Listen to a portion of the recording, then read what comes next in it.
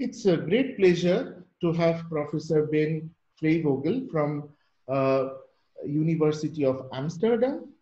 And uh, he's going to speak about uh, a very interesting topic to us, which is wormhole. And uh, uh, with this talk, we are completing basically 51st QASTM Zoominar series because last last one was the 58th. So this is the 51st. And uh, thank you, Ben, for uh, uh, like giving your consent to give this long lecture. And I know that this is a very um, important for us. So like everybody will want to understand like this wormhole stuffs and hopefully we can learn a lot from this. And those who do, don't know about Ben's uh, alma mater, just I want to uh, point that Ben did his PhD from Stanford Institute for Theoretical Physics, Stanford University uh, under Professor Susskind. Then he did his postdoc at University of California, Berkeley. Then he was at MIT for a certain time. And then he shifted to University of Amsterdam as a faculty. Now there he is continuing. His area of expertise is quantum entanglement, quantum gravity, information theory overlap, and also AdS/CFT. So he will uh, today particularly talk about wormholes. So Ben, you can start. And uh, again, thank you for your consent and uh, hopefully we will learn a lot today. All right. Well, thank you for uh, for inviting me. Um, yeah. So uh, I wanted to talk about wormholes. Um, is this kind of an acceptable size of of writing?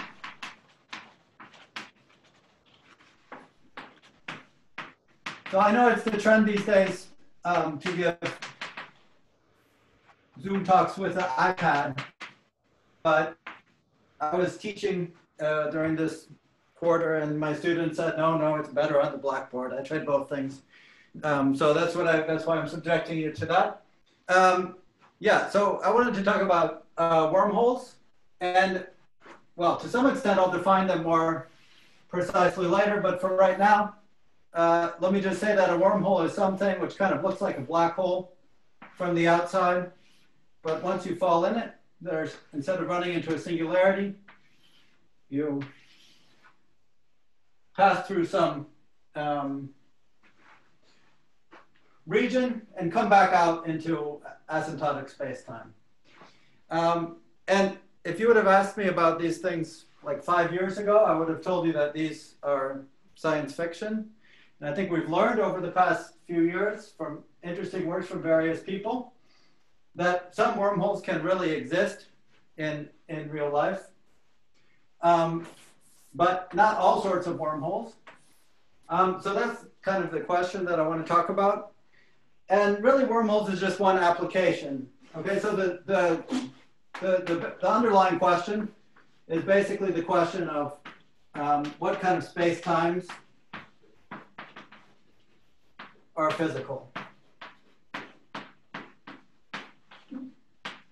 Okay, so what kind of space-times can, can really exist?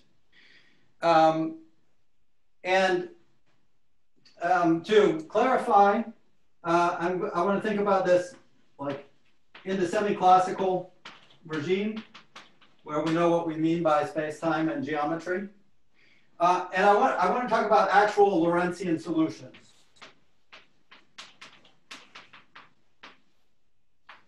So some of the interesting wormholes recently have appeared in these calculations of the entanglement entropy for black holes. Um, th those are not necessarily like solutions in real physical space-time. They're, they're, very interesting things. It's, it's fabulous what's going on there. But the focus here is going to be on actual Lorentzian solutions. Okay, that's the, that's the idea. Um, and uh, basically, I want to tell you about you know, the current status of this stuff, a couple of new results, and then some open questions. Um, yeah, so now the goal is for this to be kind of pedagogical and interactive um, and for you guys to ask questions. And I was told to prepare it at the level of master students and PhD students. But I see Ben- pretty, So you have mentioned about the other results. So other means the Euclidean stuff you are talking about. Uh, sorry?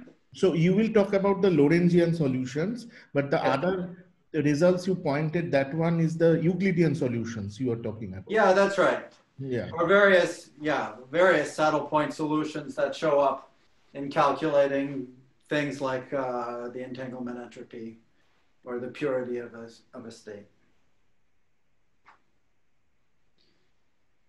Um, yeah, so, okay, so I was told to prepare this at the level of uh, master's and PhD students. Um, but yeah, the goal is for it to be kind of pedagogical and interactive. Um, and actually, so I know a few of these people that I see here. They're mostly neither master's students nor PhD students. But um, so I see a total of 21 people. So I think it's a reasonable size that you could actually introduce yourself and tell me, yeah, what like what your current level is and what you're working on. So just two sentences, and, then I'll know much better, um, you know, what's the right kind of level to discuss these things. I mean, obviously I prepared something, but things can be a bit adjusted. So, um, would you mind introducing yourself very briefly? I think it will be worthwhile for the later discussion. Uh, hello, Ben. I'm Andrei Shu. And in fact, for me, any level is okay because I already did a lot of stuff with gravity and etc. So I'm just very interested to learn new things. And I guess being a professional as you are in wormholes would be kind of beneficial for me. Also, it would probably motivate me to do my own research, but whatever level you choose is fine for me. Thank you. Okay.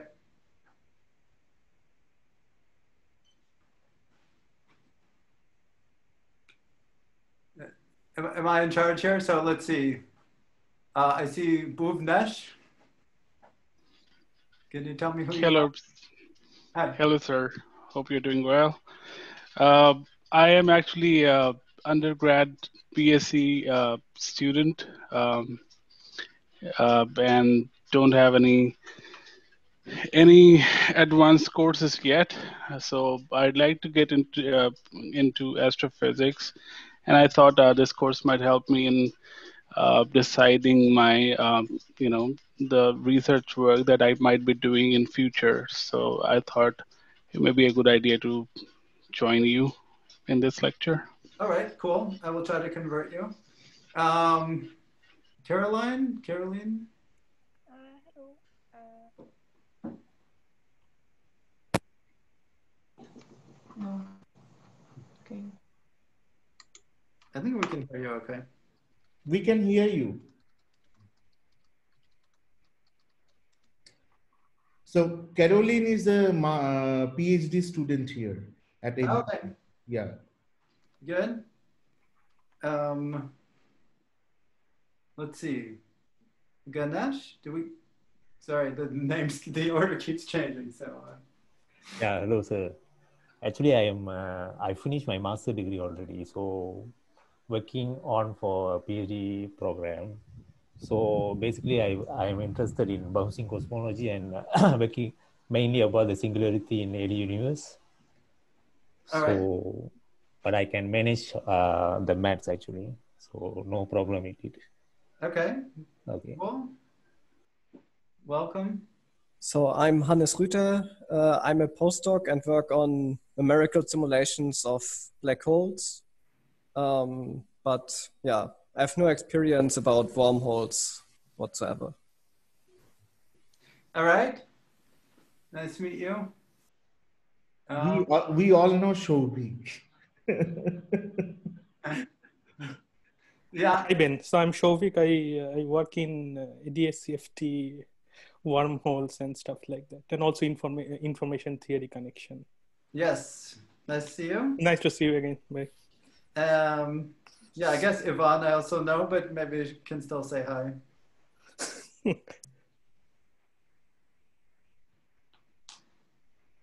Okay, so you, you you can start. So like you you you have to approach some kind of uh, minimalistic approach. All right, all right. Just sorry, because Ben, you already know me. I'm Roberto. Hey. Yeah, I'm not a master student. Uh, just uh, wanted to let you know I learned about this through students. I didn't know that it was uh, meant uh, for uh,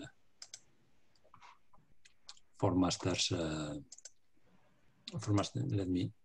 Uh, I cannot turn on the video, but uh, well, I hope that you don't mind that I'm around. I, I'm happy to have you. I, I, well, I think it's for all levels, but I was told to kind of direct it at that level. That's so- fine. I wanted to know what your take on this is. Okay, cool. Um, does anyone else want to say hi? Who's out there? Uh, hello. Uh, so I am Adel. Uh, I have already a master degree in theoretical physics, but now I'm working on a PhD in more applied physics about statistical physics and relaxation and diffusion phenomena. But I'm I was always interested in these, let's say, more fundamental uh, works in, in theoretical physics. So All right, welcome. And then we heard from a couple of people in the chat. Um, so I won't read those out loud. Shovik really did had written a very big message. Yeah, yeah, but we can all see. So yeah, welcome to you guys. And then anyone else?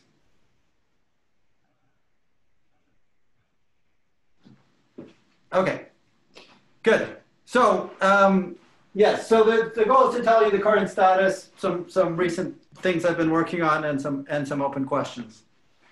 All right, and um, and this is the basic question that we're going to try to um, discuss. Um, so first of all, to talk very briefly about the um, the classical situation. Um, so yeah, maybe some people need to go get a cup of coffee during this time. But um, so uh, everybody has been uh, reminded recently that we have this nice Penrose singularity theorem.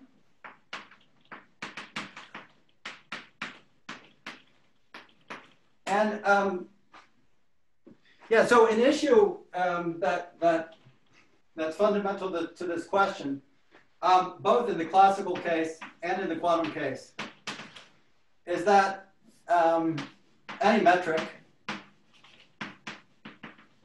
is is okay in the sense that it solves Einstein's equations, right? Because given any metric, you can calculate the Einstein tensor, uh, and then you can write this equation, and it will correspond to some stress tensor. Um, so if you think that some things are crazy and you want to rule out some metrics, um, then what you need is conditions on the stress tensor.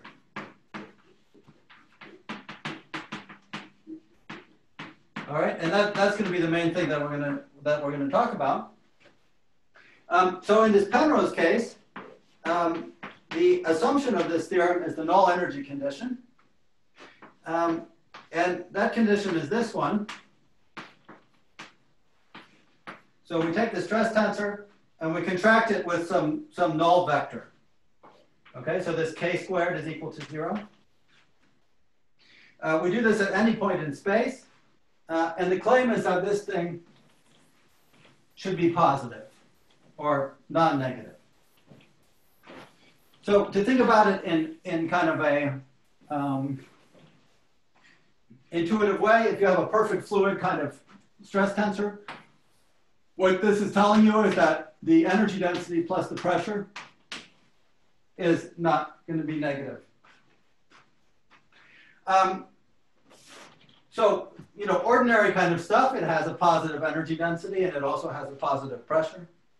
Uh, you can have some kind of objects like strings that have a positive energy density and a negative pressure, um, but they will still satisfy this, this uh, combined equation. Um, and then finally, you can have things that have a negative energy density, like a negative va vacuum energy. But those things will have positive pressure, and they will still satisfy this equation. Okay? So I, I think it's fair to say that all sensible classical theories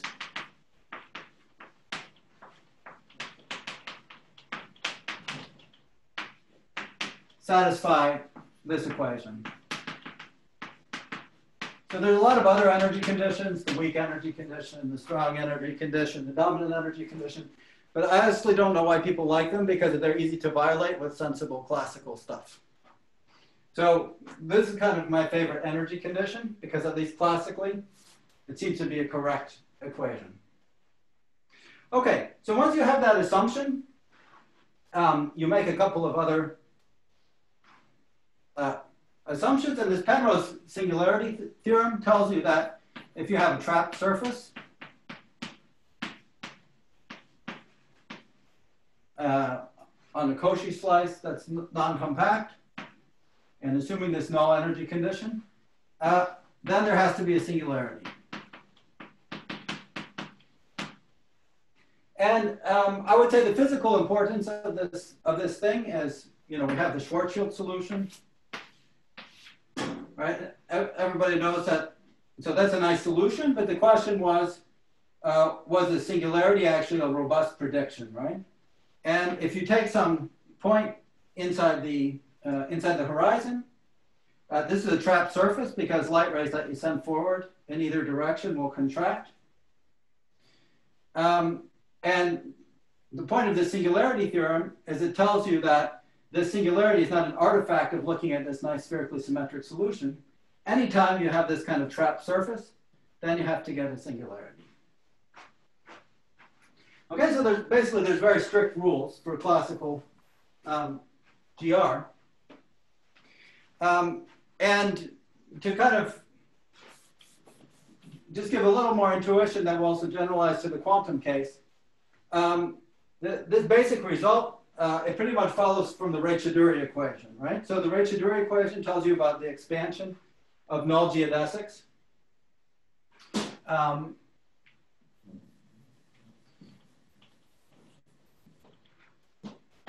and the Ray-Chaudhuri equation looks like this. So theta is the expansion of the null geodesics. And we take a derivative with respect to some affine parameter uh, along the, the null geodesics. Um, and we get some expansion like uh, a, a, formula like this. We have some other terms, um, some shear terms and some vorticity terms, which are not important once we have this this um, closed trap surface. Or we could just say they're, they're zero in spherically symmetric situations. Uh, in, in, general, they're just there. Um, and then we have exactly this um, contraction of the stress tensor with the null vector along the rays. Okay, so this is a null vector. So you can think of this equation as being an equation that's locally true uh, along some congruence of null geodesics. Okay, so you look at a null geodesic and some other null geodesics in its immediate neighborhood. Um, this theta is the change in, in size, the change in the area that those null geodesics are taking up. So that's, that's the expansion.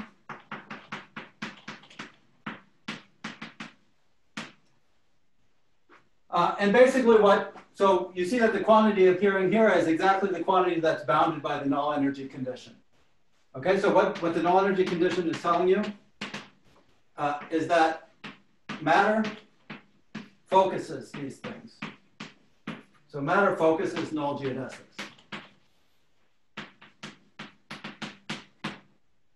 Okay, that's that's the um, that that's the basic result, and that's because it's telling you that the expansion of those null geodesics, the time derivative of that of that is some negative thing, which means focusing.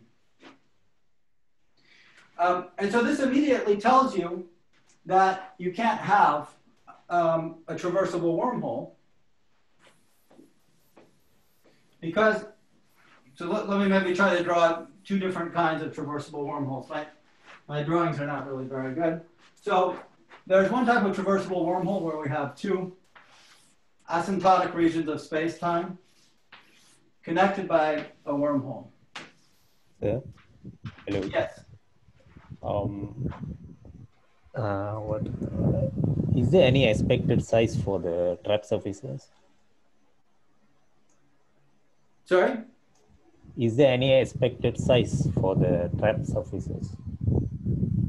Did you say an aspect of size?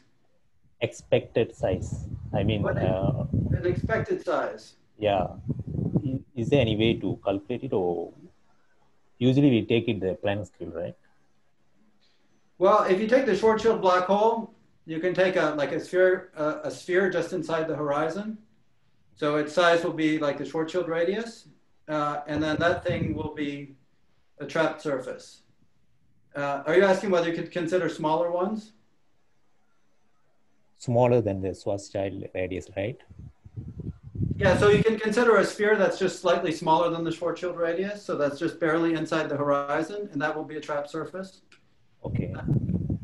Um, so that would be the, like the most convenient one to think about. But uh, we don't know exactly what is the size size of it, right? Yeah, so like if you're given one way of thinking about that theorem is that someone tells you some some part of the space time. Um, then if you can find a trapped surface in the part of the space time that they tell you, then you can say, okay, within classical GR, we're going to have a singularity in the future. Okay.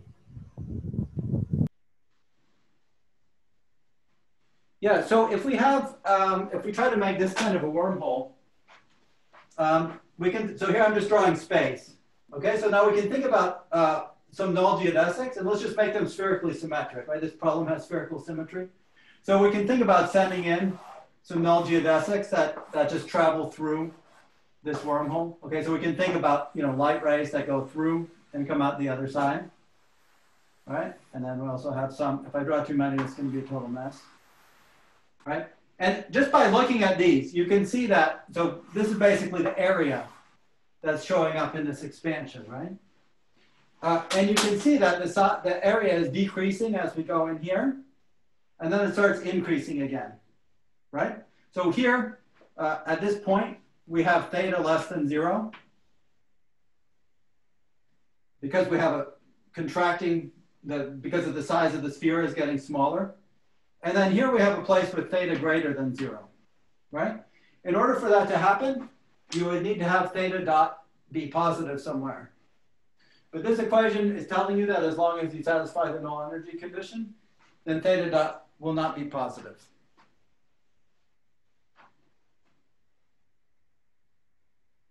Okay, so as long as a, and you could say the same thing for a wormhole that connects two different regions in the same space-time. Again, you need some null rays to defocus.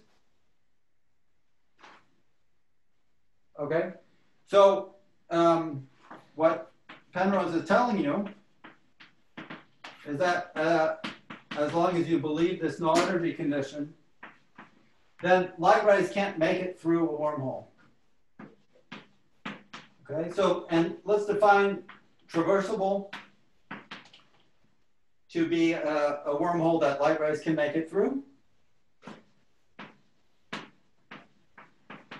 And Penrose is telling you that that's not possible. Okay, so the, the, um, the Schwarzschild solution, in a sense, that has a wormhole in it, right? Because if you, if you take the Schwarzschild solution, then now let's take asymptotically flat space. If we look at it at this time, of course, it's true that the geometry looks more or less like this, right? We have this Einstein-Rosen bridge. But this is not a traversable wormhole because light rays can't get from this asymptotic region to that asymptotic region. Okay, so that's the classical conclusion. No traversable wormholes.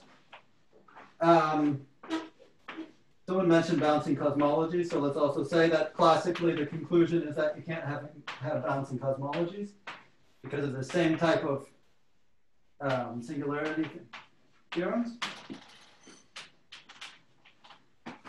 Um, yeah, so I think the classical situation is very clear. Uh, are, are there any questions about that part? And then we then we come to the quantum, the quantum part.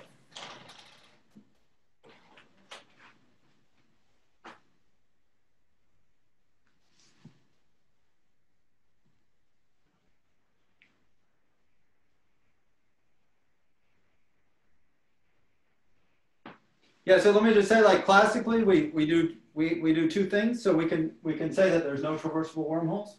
And another thing we can do is um, we can show that once we have the Schwarzschild solution, then there will be a singularity. Okay, so there's kind of two things that we do with this. So we get no traversable wormholes. Uh, and then let's maybe erase this one because I don't want to focus on it.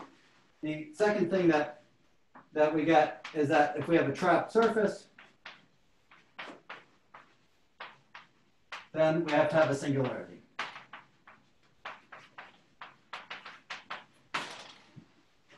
Okay, that's, that's uh, classical.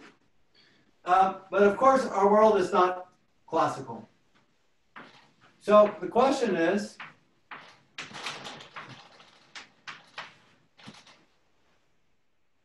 it's all very nice, you know, to give out Nobel Prizes and stuff for nice classical results. But like, does it at all valid in the real quantum world? You know, should we expect that real black holes should obey these rules or not? So um, basically the question is, how do we generalize this analysis to semi-classical gravity? So um, the most obvious thing that you might guess, so you remember we had the, this um, T mu nu, the stress tensor contracted with a null vector. Uh, and I'll just abbreviate this as T plus plus. You can think of X plus as some light-light coordinate. So uh, a thing that you might say is simply that the expectation value of this thing should be positive at every point. That, that would be kind of the obvious classical generalization of the uh, quantum generalization of this classical result. Um, but this is not true. Uh, this is violated, as far as I know, in every quantum field theory. Okay, so you can just take the state psi, which is some normalization times the vacuum plus some two particle state.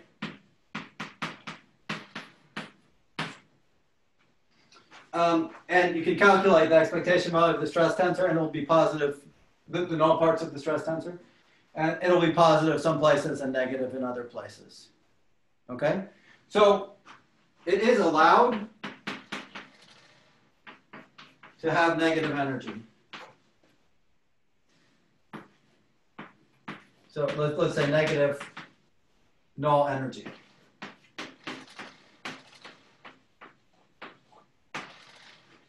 So that is awkward. So we can't we can't really use these these theorems like before.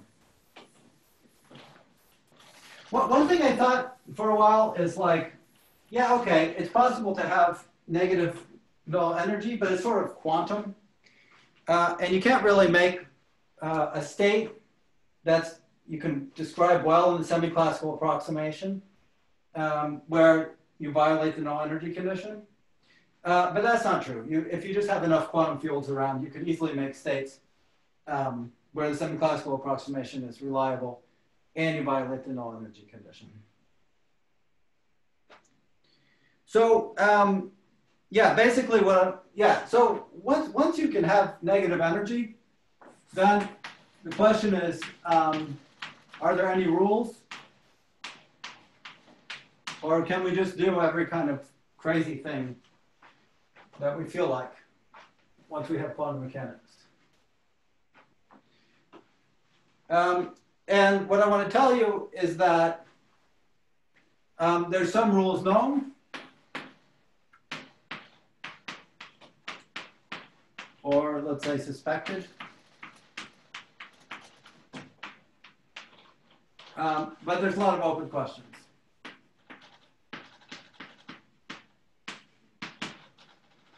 Okay, so now we're going to get into some more details about like uh, what kind of uh, energy conditions are might be true in quantum field theory. Um, but are there questions about the basic setup or just comments?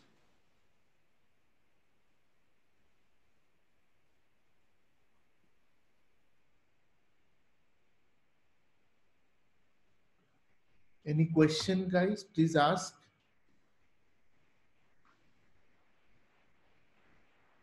I think you proceed. Maybe they will ask later. Okay. Well, just interrupt uh, at any time with, with questions. All right, so uh, let me first list a few things that, well, we'll start with things that are known. So suppose we do quantum field theory uh, in Minkowski spacetime. Okay, so there's no gravity, there's no curved space.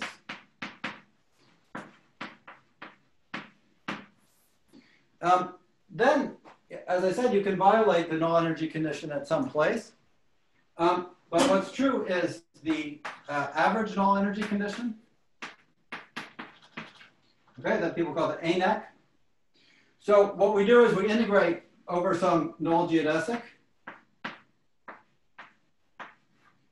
Um, we integrate t plus plus. Uh, so let's let's take x plus to be the coordinate along this this null geodesic. Okay, so we're going to have x plus in this direction. Uh, and we integrate at uh, whatever value of the other coordinates we feel like. I'm sorry. So,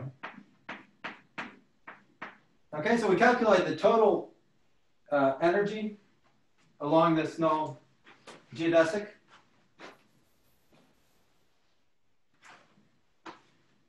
And that thing has to be positive. Uh, and that thing has been proven by Balakrishnan, Faulkner, Khandker, and Wang. Um,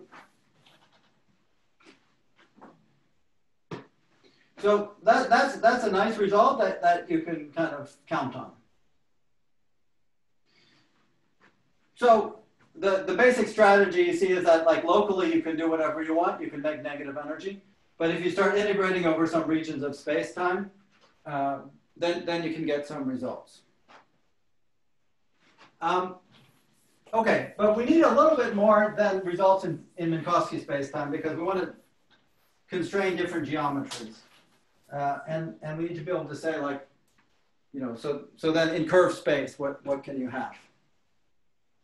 Um, so suppose you do quantum field theory in curved space.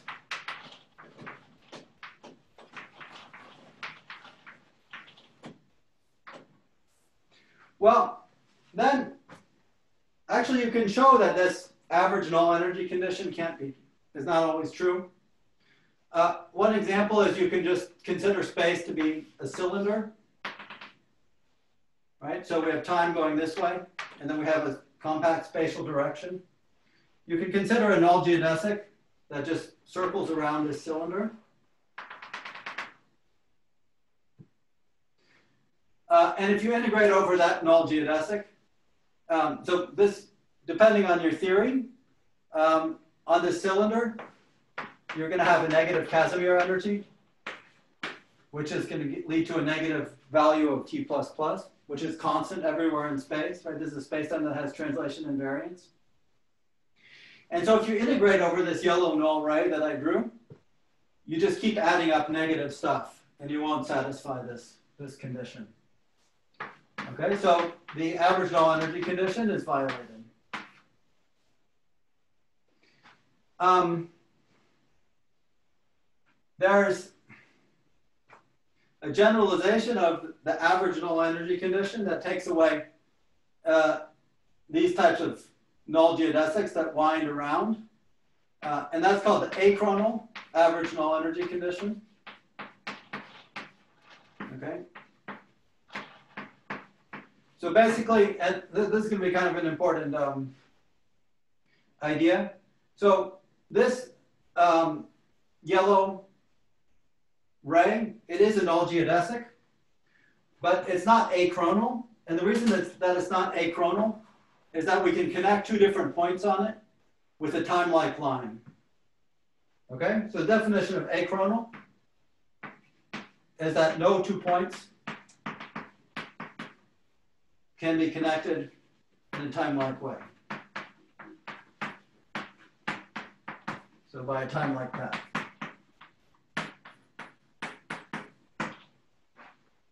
Okay, so that, that's something that might be true in curved space, except actually there's, there's more complicated counterexamples to this, to this thing that you get by basically taking some region with negative energy and then doing a conformal transformation so that that's all of space.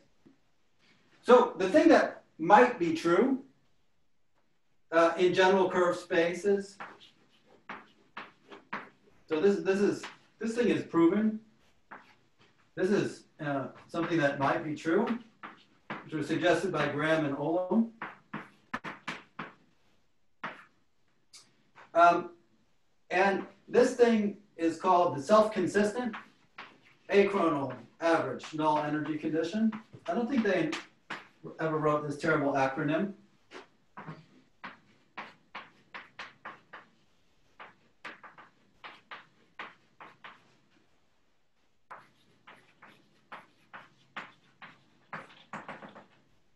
And the self-consistent part means that the space-time you're considering, it shouldn't just be any old curved space that you feel like writing down.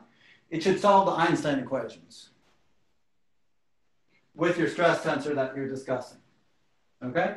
So that, that is kind of the, the physical situation that, that we're typically interested in, right? We, we care about these energy conditions, but we, because we care about how they back react on the geometry.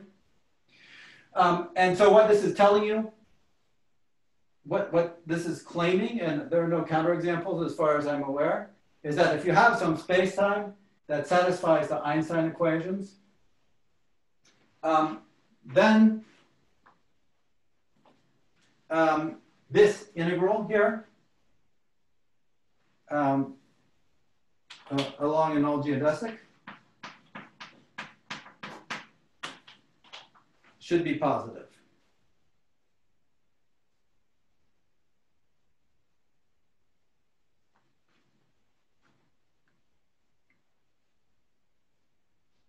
Is it clear? Because we're, now we're going to kind of use this. So I'm, I'm not going to explain more why this might be true, but I'm going to tell you about like what consequences it has.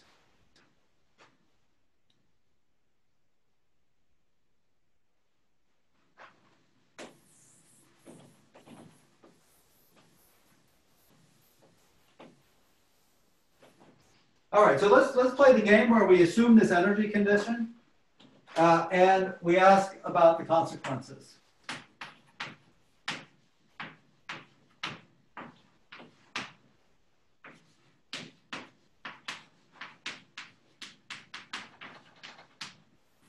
So um, yeah, I want to come to, back to the theme, which is wormholes.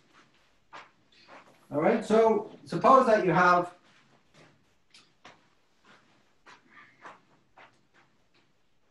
um, some wormholes that connect two regions in space here.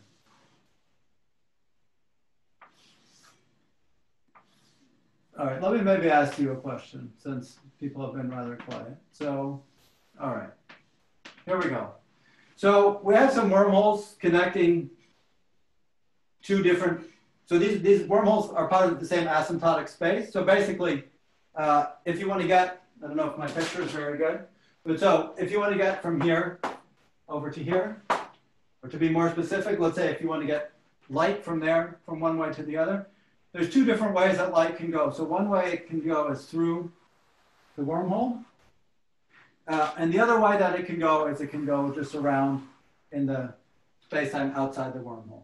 Okay, those are both allowed paths um, that light can take.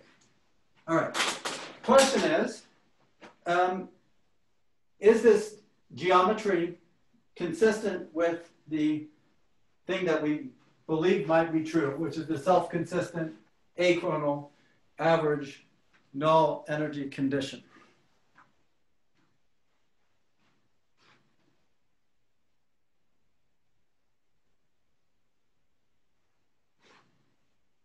Maybe I should tell you one more, one more piece of information, which is you remember we had this Raychaudhuri equation, right? So basically by integrating the Raychaudhuri equation,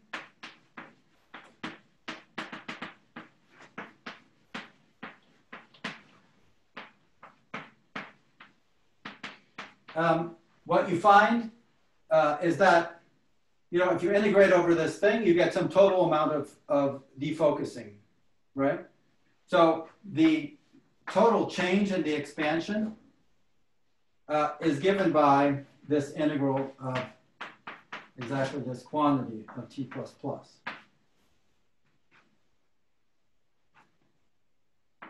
Uh, with a minus sign. So you remember there's a minus sign in the Raychaudhuri equation.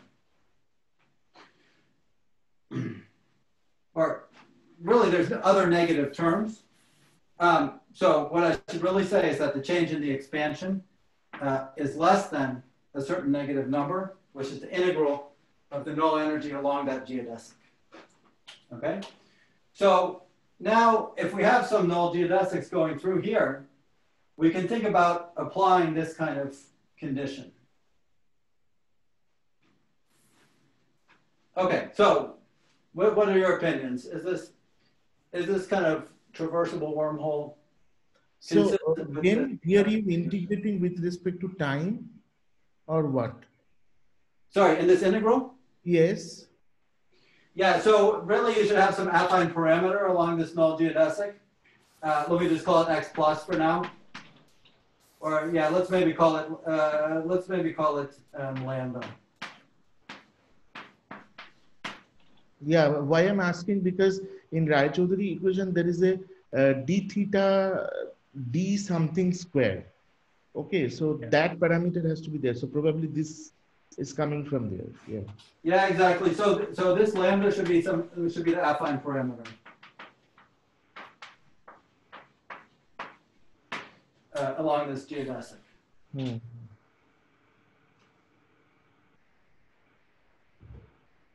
Yes. Yes. Mm -hmm.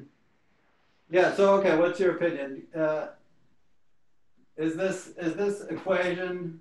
Um, yeah, sorry. So so the change in the uh, expansion uh, is is bounded through the Raychaudhuri equation by this integral of the stress tensor. Um, and then we can use this um, self-consistent achronal ANEC to say that the if we integrate this thing over an achronal null geodesic, then the change um, then the change in the expansion um, should be negative.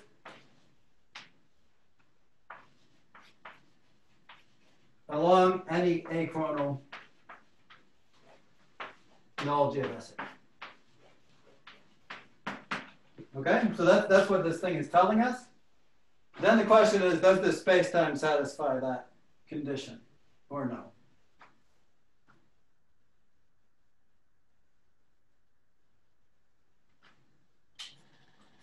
I'm not answering this question, but some, someone is going to have to uh, give their opinion.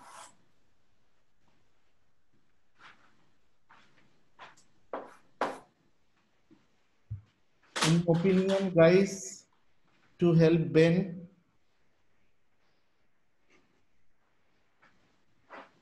I don't know. Everybody is silent.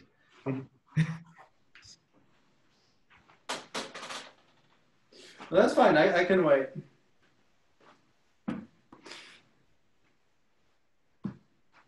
But I mean, it's too long of a time slot for me to just talk, so.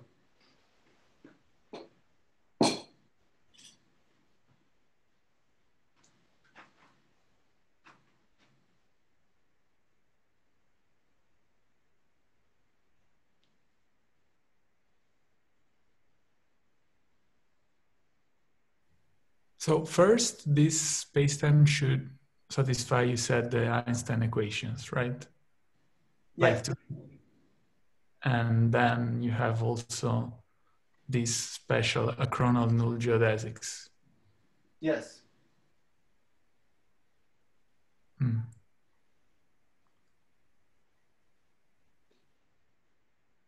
Well, maybe I should ask an intermediate question first. So do you see any null geodesics where from one end to the other, their change in expansion uh, is positive.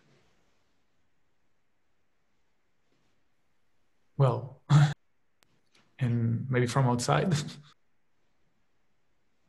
So these, these green ones?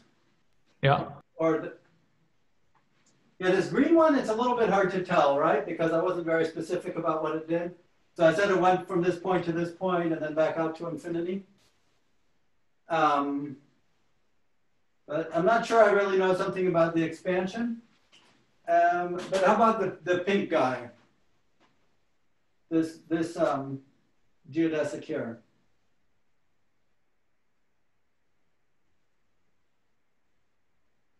So if we go from one side to the other, um, does that thing like focus or defocus?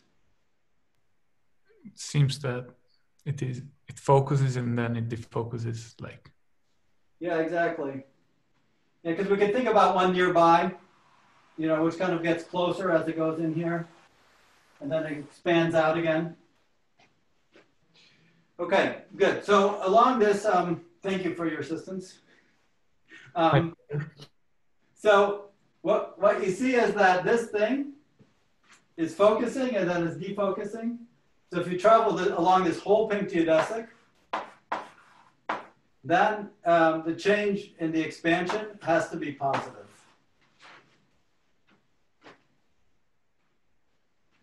Okay, so that's kind of the property of these wormholes, right? They're, they're because they have these two mouths, you have to defocus stuff through the wormhole. could it be also zero? Yeah, for that we maybe need to look more closely, but it can't be zero because you know, like near here, you're like approaching the mouth of the black hole and things are converging. Right. So for that I would need to write more equations. So you kind of have to trust me a bit. But we can choose some geodesic where things are, if we just use the spherical symmetry, things will be converging here. And then when you come out the other mouth, then they'll be diverging because it'll be like the time reverse. Okay, so basically like if we if we travel along here, then we have some converging geodesics. So in particular, we have a negative theta.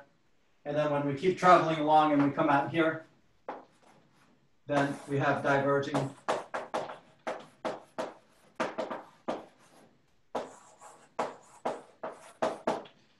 Um, and so here we have theta being positive. So somewhere in the middle there, some magic needs to happen. And um, theta needs to go from, the expansion needs to go from negative to positive. Um, so in order to have this kind of thing, then we need to have some defocusing in here.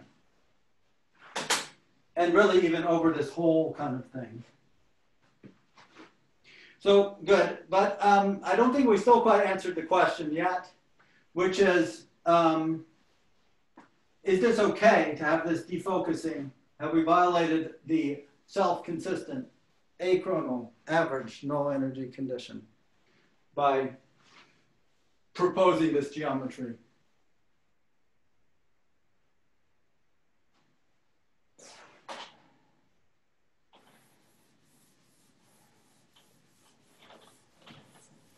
Normally, yes. Normally, we vi violated this uh, self-consistent achronal geodesics because it is supposed, if I understood well, it is supposed that the delta theta is always inferior to zero, if I understood well. So normally, it, it violated. Yes. Well, it looks like it's violating it, but there's um, one of these many adjectives that will potentially allow us to escape, escape from the conclusion that we're violating this self-consistent achronal average null energy condition for certain kinds of wormholes.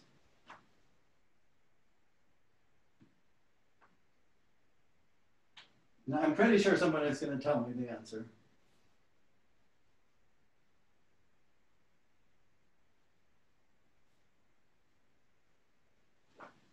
So let me summarize what we concluded here because I didn't, of course, give you all the equations that you need. Okay, what I can tell you is along this pink geodesic, the achronal, uh, the average null energy condition is violated.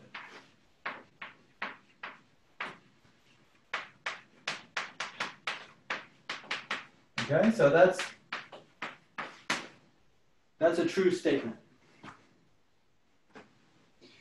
So how can we still be consistent with this this um, idea?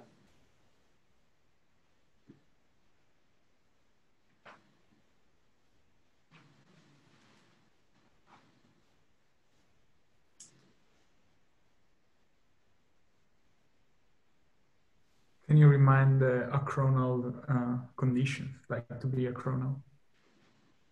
Yes, I appreciate it, Lorenzo. Thank you. Um, so, yeah, that.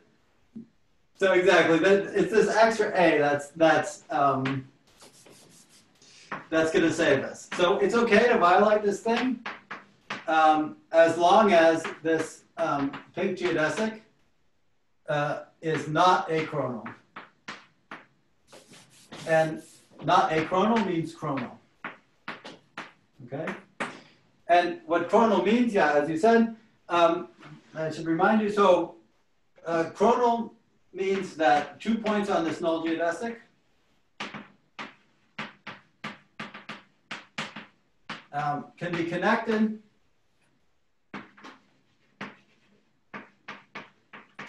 um, by a time-like path.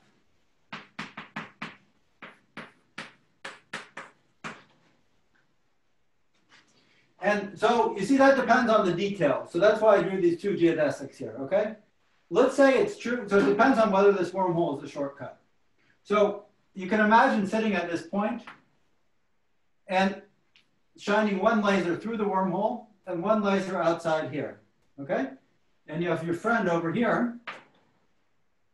The question is, so you send a laser pulse in both directions, the red one and the green one, okay?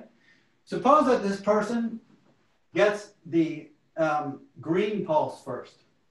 That tells you that there's a faster path outside than inside. Okay? And that tells you that, in fact, you can connect the place where this time, so that means that this pink thing going through here uh, is slower than the green thing. And that means that actually you could connect this point and this point where this pink um, laser comes out uh, with a time-like path, right? Because this, this green path, the light beat it. So now you can just go a little bit slower uh, and you can connect um, and you can actually get there in time to catch this red laser as it comes out of the other side. Okay? So the um, so the conclusion is that um, if this, yeah, I guess we'll call them this pink. So if this pink path is slower than some path outside,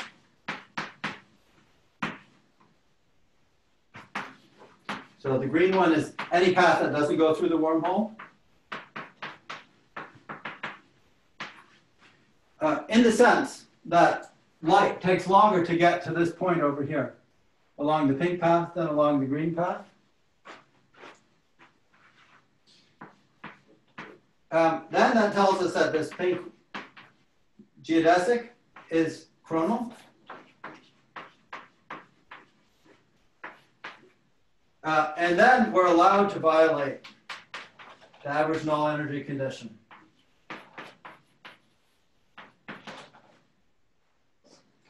Okay, so this, this is the first thing which, uh, I mean, um, it, it's not proven, but it seems to be a rule about, about these wormholes.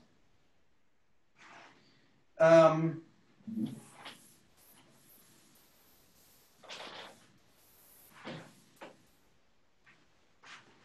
so we have, we have like a proposed rule.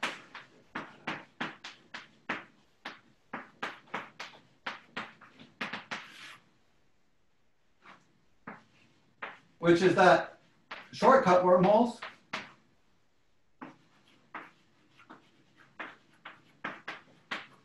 ones which allow you to send a signal faster than in the ambient space-time, are, are relegated to science fiction.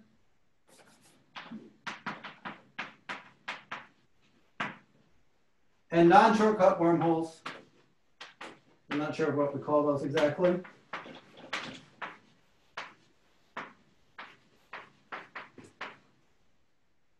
They can exist.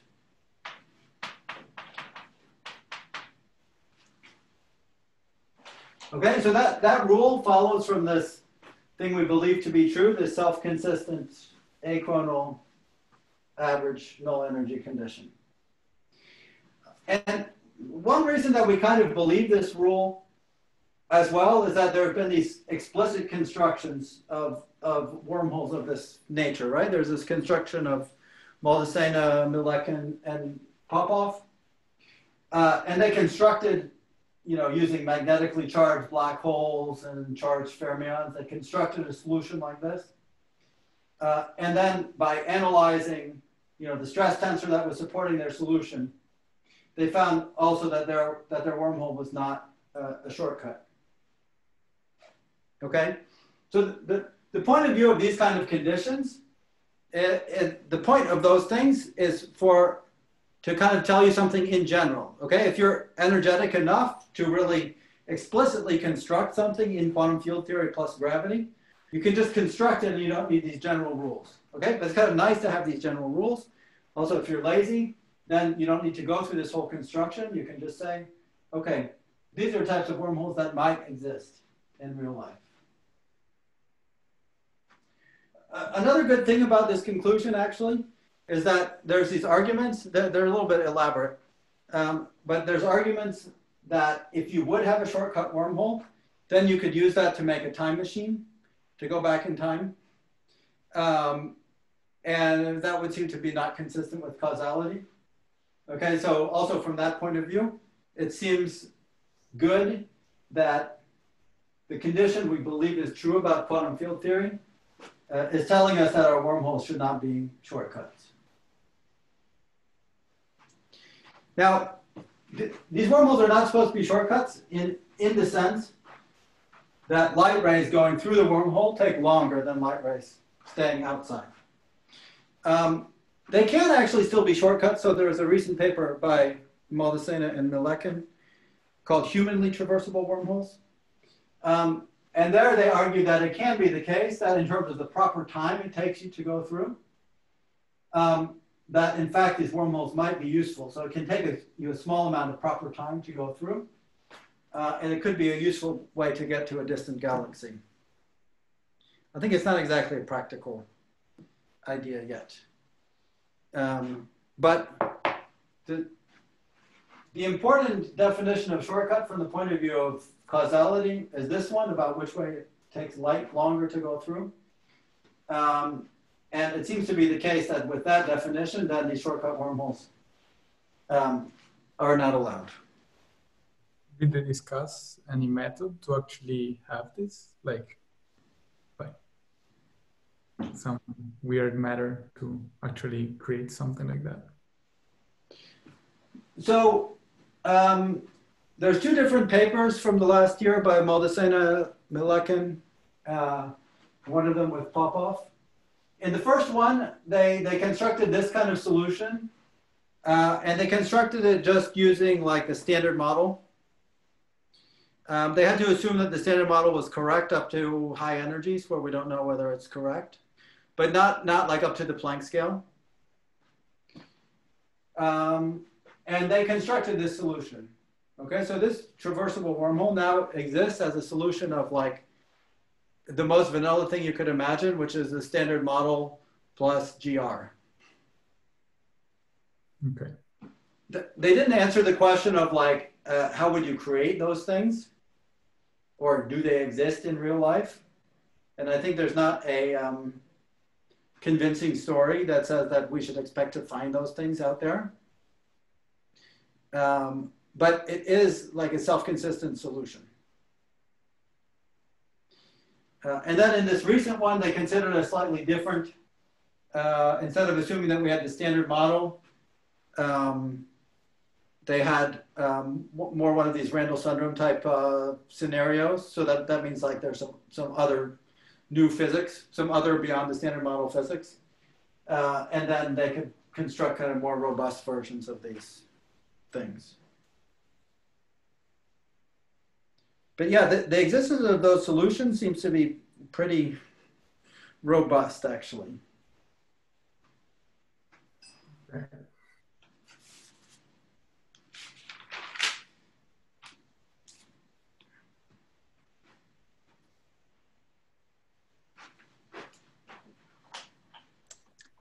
Maybe I can add one thing. I mean, I think that the existence of the solutions is robust, but the solutions themselves, uh, themselves are uh, fairly fragile.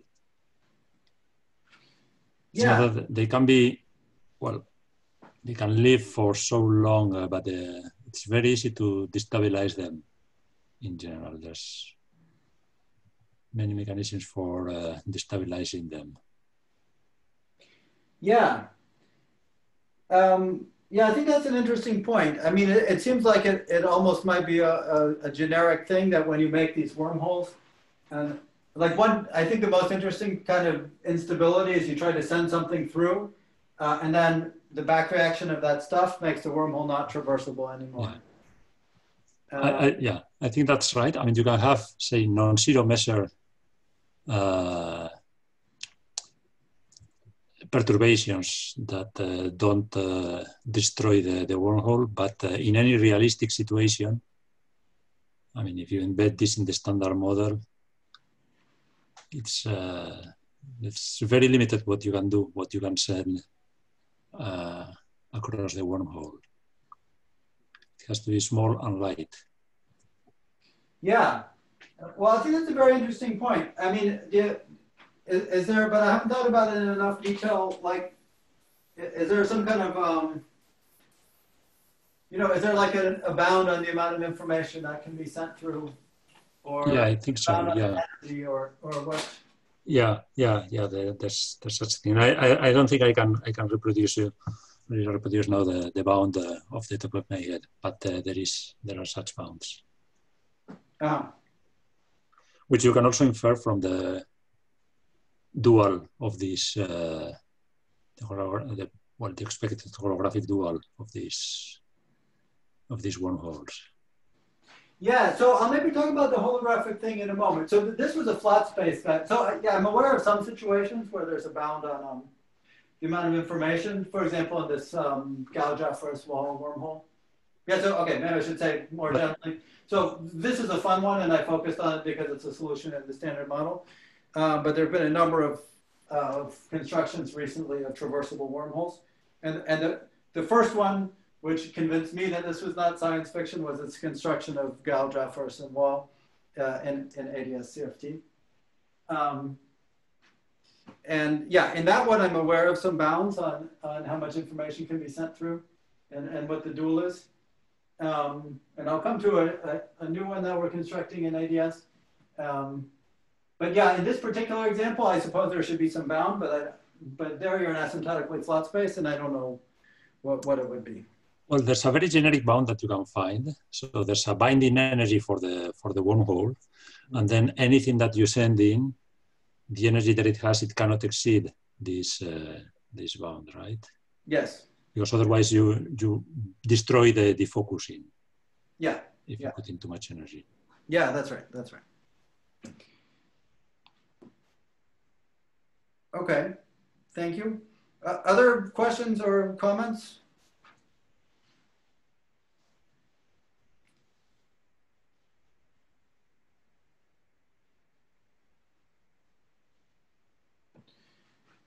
Okay, so th this was sort of, um, yeah, so let's see. Is it sensible to take like a five minute break before we continue? I mean, I, I don't um, have anything I need to do, but I, I think it's nice if people can recover for a moment. Yeah, take five minutes break. It's Okay, if, if people have things they want to chat about, then uh, go ahead.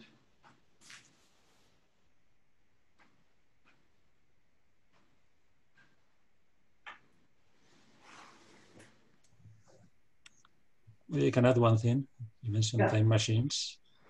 Time Yeah. machine that uh, in principle you shouldn't be allowed to turn a wormhole into a time machine, and I agree with that. Uh, with that uh, conclusion, but that's something that follows from a very generic argument. This doesn't tell you if you start with a wormhole and then you try to turn it into a time machine through any of the mechanisms that uh, people have uh, thought about, bringing in, say, something very massive to close to one of the mouths, or taking the one of the mouths in a, a Yeah. twin paradox uh, trip. That argument doesn't tell you what happens, how the how you fail to turn this into a time machine. And that's uh, something that uh, we're with my student Maria. We've uh, studied and uh, well, we hope or expect to write a paper on that uh, that soon. It's a bit like uh, you know that well, relativity in special relativity. There's a well, you cannot have something traveling faster than the speed of light, but this doesn't tell you what happens. The general principle doesn't tell you what happens if you actually try to do it. Yeah. No, it's a good point. I mean, um, yeah, I'd be interested to see what you guys say because it, it's true. Like the, the say you have some shortcut wormhole, uh, as you say, the steps of turning it into a time machine are kind of elaborate, right? Like you Yeah. you you arrange for some large gravitational redshift, or you have to do pretty crazy stuff, and then maybe that will break the wormhole. No, but even even if you have a, a wormhole that's not a shortcut uh, wormhole, hmm if you do things, uh, say naively, and then you try to turn, you could think of uh, trying to turn this into a time machine, even if it's a, a wormhole that's longer through the interior than uh, than through the exterior. Really? Yeah, uh, you can. Well, in principle, I mean, if you so, let me uh, disclose things. It's uh, if you don't take into account the back reaction properly, hmm uh, then say that uh, you bring close to one of the mouths, you bring say uh, another black hole, something a gargantua or something, and then you let it be there for long enough. hmm then no matter how long the tube, the throat is, at some point, the time delay that you're going to build uh, by having this uh, very massive object close to one of the mouths, you're going to keep increasing this time delay between the two mouths arbitrarily. Mhm. And then at some point, it's going to be long enough that uh, you're going to have a, a time machine. That's if you, as I say, if you don't take into account the back reaction from the the back reaction of uh, well that this has on the on the tube. Uh, hi, Roberto. Can I comment on what you said now? Okay. So there was a quite a long story related to conversion of wormholes to time machines originated with work by Kip Thorne and his collaborators. And so, of course, like two possibilities, like you mentioned, either is moving one mouse or putting uh, gravitational potential that was done by Frolov later. And Yes. eventually, uh, Stephen Hawking objected this all by posting his chronology protection, Yes. protection conjecture. It was 1991, I guess, uh, article in PRD. I know. Yeah. But, but all the major discussion between Thorne and Hawking was uh, what time cutoff to take and what exactly time to choose to make the cutoff, because the Hawking was arguing that time should be calculated with respect to the local observer, as far as I remember. So now coming back to what you said, like naively, like if you start with completely clean wormhole solution, in the sense like you have absolutely nothing in the space-time, just the wormhole, and the mouse are kept uh, at rest with respect to each other. So that means you have not converted a time machine yet. Yes. Now taking any tiny perturbation like what you discussed now, if I understood it properly, will eventually make it to, at some scale the time machine working. And then all the consequences that were discussed by Thorne and calculated by Kim, like his postdoc and Hawking arguments will immediately come up. Yeah, but let me know. So what they objected is that uh, eventually, at uh, when you're about to create a time machine, that uh, what they say is that uh, quantum well, the, there would be a divergence in the stress energy tensor of uh, quantum fields near this uh, chronology horizon, and then this uh, well, there should be some strong back reaction, probably at the Planck scale or something that would destroy the your Right, attempt of. Uh, what I'm saying is that way before this happens, you're going to fail to create a time machine. So what I'm saying is that the arguments that they gave, they might be right if you didn't. Mean, they might be right if back reaction effects weren't important until the last moment. What I'm telling you is that uh, what I'm trying to, to what, what we're arguing is that way before you get to that point, the back reaction at almost at the initial time is going to make your uh, wormhole uh, impossible to, to turn into a time machine. So the, what they were saying is that essentially Planck scale gravity effects would prevent you that appear when you're about to create the time machine. What they were saying is that uh, these effects would prevent the, the creation of the time machine. That chronology protection is implemented by, say, some quantum gravity effects. What I'm saying is that chronology protection in this case is uh, implemented by low energy physics. You don't need to invoke any diverging back reaction of quantum fields. It happens already at a level of uh, very weak back reaction. So do you mean that you do it purely in classical physics without? No, quantum, but uh, not Planckian. Oh, okay.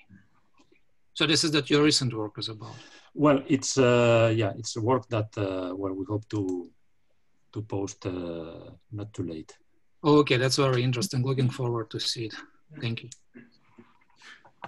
But uh, then, well, I guess I suppose we should continue. But maybe to wrap up this this interesting discussion, though. Um, so, are you saying then that perhaps perhaps we don't actually need this this principle? That something else will stop you from building? Uh... Yeah, that's right. So I can't I can't get around if, if I assume that I have even like crazy kinds of energy I violate every energy condition, I feel like I still won't be able to build a time machine. Well, I don't know how crazy, but uh, the argument would work even if you didn't have the protection from uh, AA-NEC. I see, I see. Okay, that, that would be fun to uh, look into some more. Um,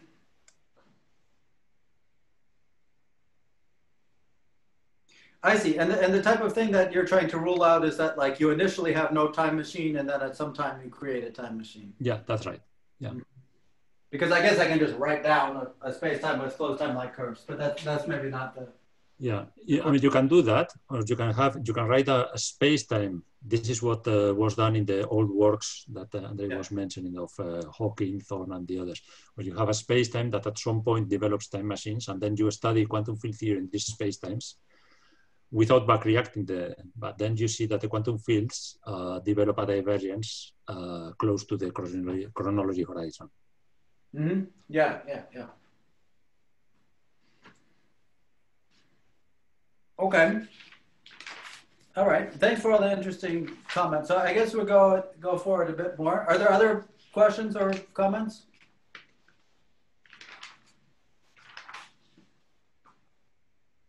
So I thought it'd be nice to talk about a concrete uh, example.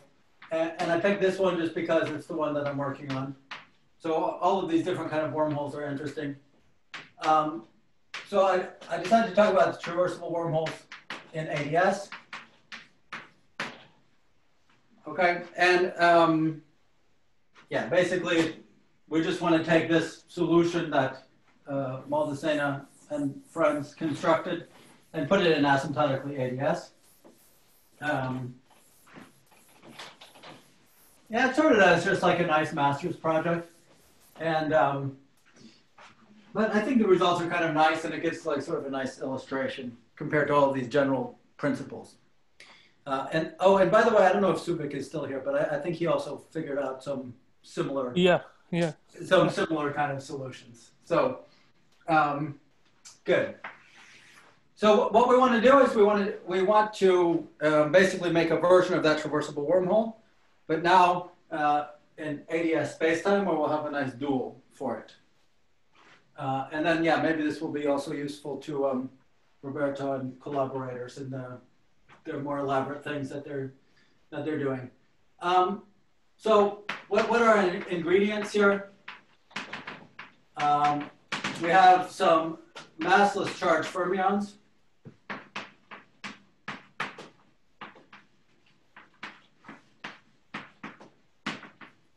bulk um, that we'll call psi. Uh, we consider some near extremal magnetically charged black holes.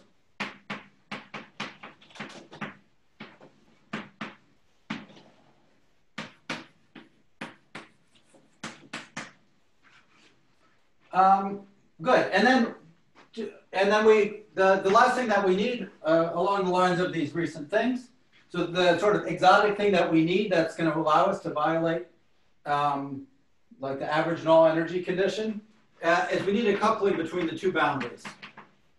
And this is the sort of um, new ingredient that was introduced in this Gal, Gal Jeffers wallpaper. Okay. Um, so we're going to have, in, in, terms of the, the dual CFTs, we're going to have a, a, an extra term in the action, um, which is going to be, and for, for um, we'll be in bulk ADS4. Um, so the boundary is going to be a 3D CFT. Uh, and we're going to couple the dual operator to these fermions, which I'm also going to call psi, um, between the left side and, and, and the right side. Okay, so there's two ways you could think about it, but the most convenient is to think about that this is a solution with two boundaries, and each boundary has two CFTs. Um, and, sorry. and we couple the operators in those two CFTs.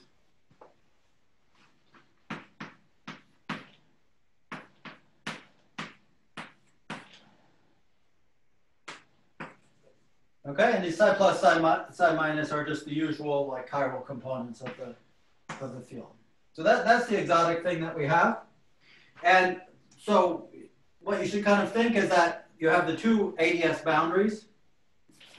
Uh, in a minute, I'm going to introduce a, co a, coordinate rho, which goes to infinity uh, at both of these boundaries. Well, I guess it goes to minus infinity at this boundary. Uh, and what this is telling you is that when you have a fermion approaching the boundary. Uh, sorry, and I should say there's going to be a parameter in front of this, uh, in front of this coupling that I'm going to call H. When you have a fermion approaching this boundary, if this coupling is small, it will mostly just bounce off the boundary, but a little piece of it will come over to the other boundary and, come out. Okay, so um, it's kind of like fermions can travel from one side to the other side. So it's a little like, you know, Pac-Man. If you go out this side, you can come back in the other side, but only with a small probability uh, of order H. Okay, so that's, that's, the, that's the novel ingredient. Um, and then, uh, obviously, I'm not going to tell you most of the details, but to, to, I do want to be like a little bit concrete about how this, how this construction works. Okay, so um, we, have, we have a metric uh, which we can choose to put in this gauge, um, which turns out to be kind of convenient.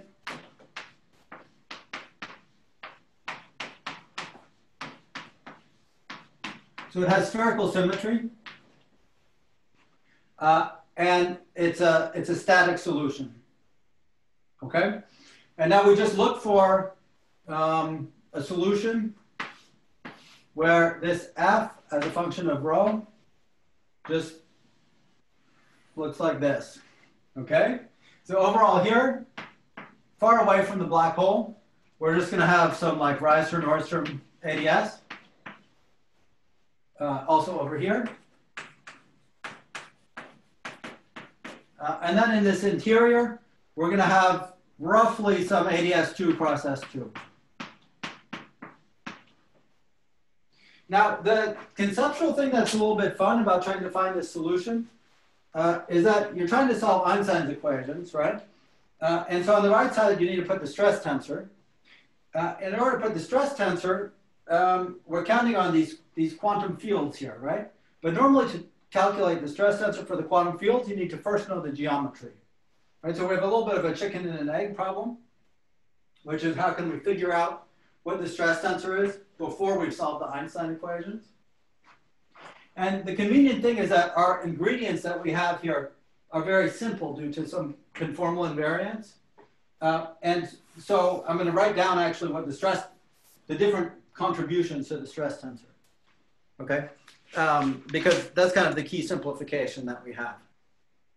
Um, so I'm going to write down the stress tensor. um, with upper and lower indices. So we have a piece of the stress tensor that's just due to the magnetic charge, okay, just due to the gauge field in the bulk. Um, and that thing, even before we solve for this F, so I guess the point is, just by using the symmetries that we assume, we can put the metric in this form. And then the unknown part of the metric is this, is this function f. Um, good. And this, um,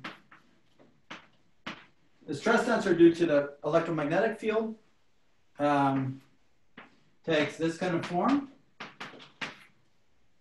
Okay, so these are the directions on the sphere, and these are directions in the, the rho and t directions.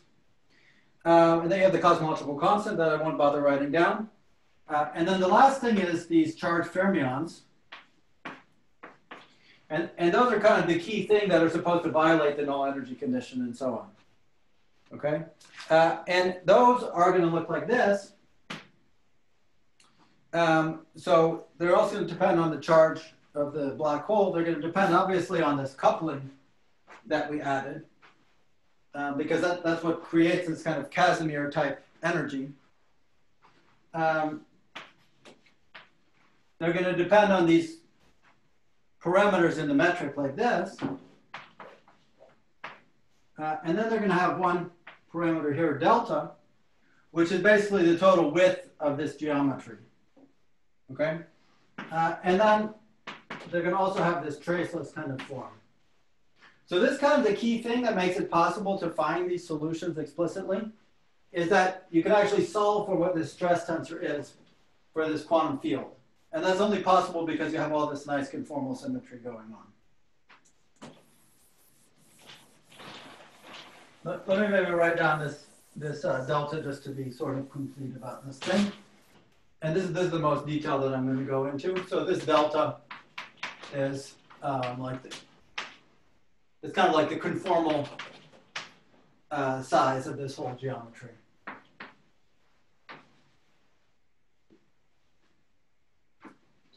Okay, so this, this guy here uh, is the one that, that violates the null energy condition uh, for some sign of H.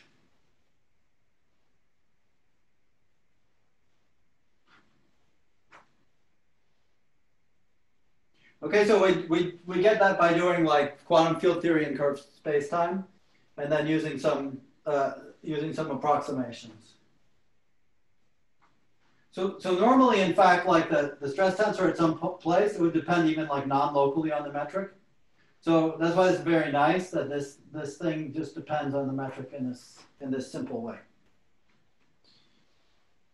And now once you have that simple formula for the stress tensor, then you can go back in and solve the Einstein equations, and then it's not very complicated. So basically what happens is that when you go far away from this throat, then you can forget about this extra term here because this f becomes large. Okay, you just have your usual Reissner Nordstrom ADS solution. Uh, and then and, and the, the tricky thing is in the place where, where you have the throat, um, then this thing will dominate. Um, but in that in that throat, it, it is very similar to the thing that was already done in these in these Maldacena papers. So, um, sorry, Ben, uh, can yes. I ask you something?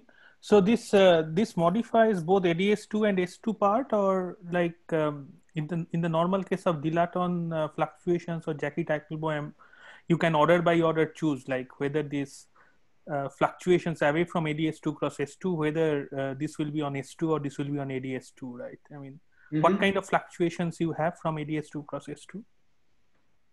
Well, yeah. So in this regime, you can do some perturbative thing, as they also did in those papers. And so um, we pretty much fixed the whole gauge when we decided that the metric had this form. Mm-hmm. Um, and so both this this function uh, and this function will so there'll be two small perturbations. Uh-huh. Um, so in this gauge, both like the you would probably call this the ADS2 part that thing gets modified as well as the. Okay, as well as that's what I was asking. Yeah, but um, you could probably also pick a different gauge uh, if you wanted to. Thanks. Um, good. So then, okay, there's all kinds of details which are not uh, all that fun to follow. But maybe the fun thing to calculate in the end is this thing that's kind of like the binding energy. Okay, so you can calculate the asymptotic mass of this solution uh, in terms of the charge. Okay, so, um, but it's a little more convenient in terms of writing to relate it to this thing R bar, which is the, the size of the extremal black hole. Okay, so given some Q, then you have R bar, which is the um, horizon size, the size of S2, for the extremal black hole with that charge.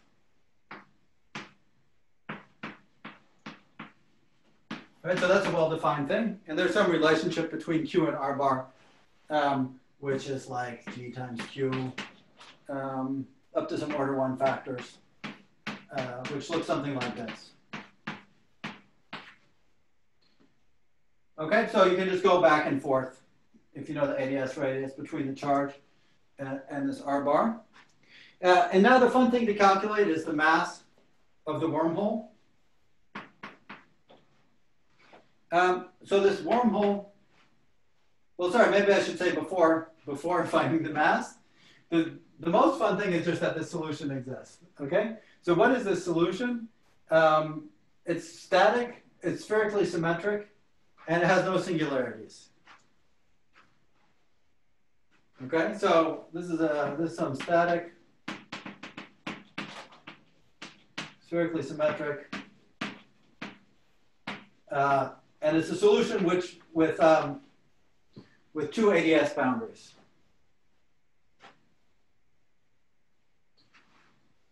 And, and there's a there's a unique solution uh, once you fix that it should be static and, and spherically symmetric. Okay, so there's kind of like a unique ground state, at least from the point of view of doing uh, semi-classical GR.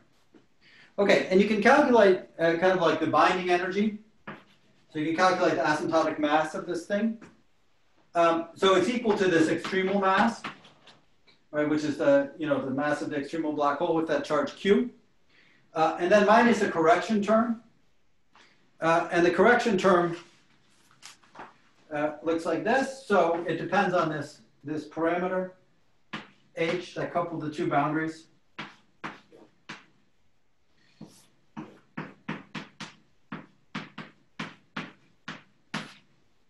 Okay, so it looks like that. So what that means is that uh, if you look at this from far away, it looks like a Reissner-Nordström black hole, but with a mass that's below the extremal mass. Okay, so what it looks like from far away is it looks like a super extremal. Reissner-Nordström ADS black hole.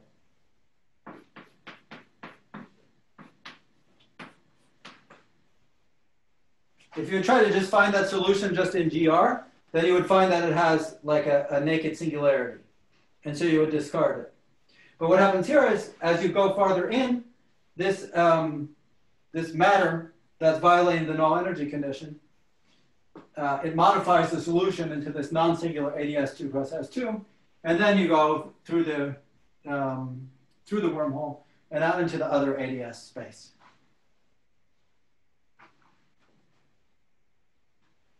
So I can maybe draw the conformal diagram, but I mean, it's sort of boring. We have, we have one boundary where r equals infinity. We have the other boundary where r equals infinity. And then we have the wormhole in between. So um, it's not kind of very exciting, actually, to draw the, to draw the picture. Um, but it's maybe good to keep in mind that, you know, what, what, what caused this solution to exist is this coupling between these two, these two boundaries that we turned on.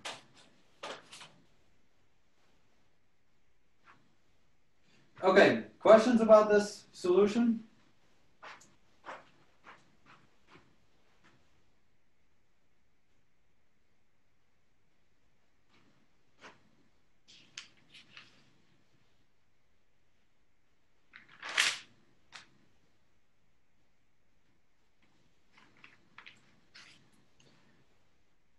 Okay, so one, one um, so that, that's the solution. And um,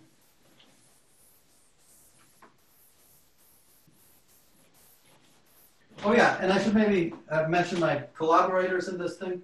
Um, so this this was done in, in collaboration with um, a, a master student, Susanna, uh, and a couple of PhD students, um, Dora and Ricardo.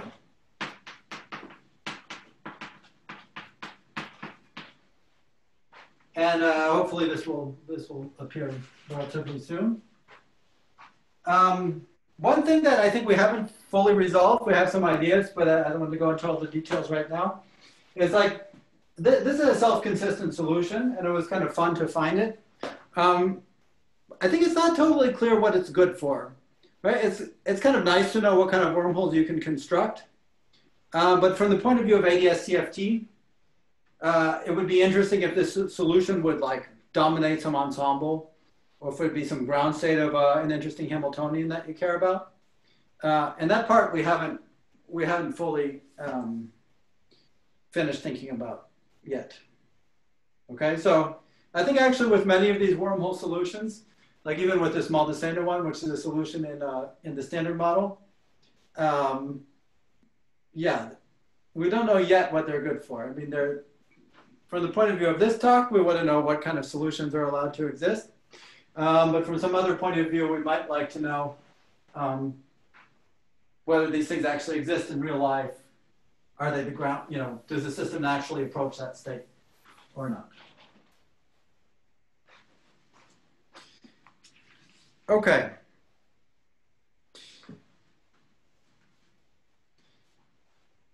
That's kind of what I wanted to say about that part. Uh, and then in the in the last few minutes, I wanted to talk a little bit about um, more local energy conditions. Right? If you notice. Can I, can I ask one question? Yes. It's not uh, too advanced, but what would be the uh, quantum field theory, let's say in super Yang-Mills uh, theory? Say that, uh, I mean, you're constructing this, say, in, in ADS5, so then you have a super Yang-Mills uh, theory in, in a sphere, say. Yeah, but we're Uh, at four actually. Yeah, or one. Sure yeah. matters, but So then, what kind of configuration of the gauge theory would this uh, wormhole be? Yeah, well, so the, the um, the idea was that the the wormhole was going to be roughly in like a, a thermal field double. Uh, sorry, that the gauge theory would be in a thermal field double type state. Yeah.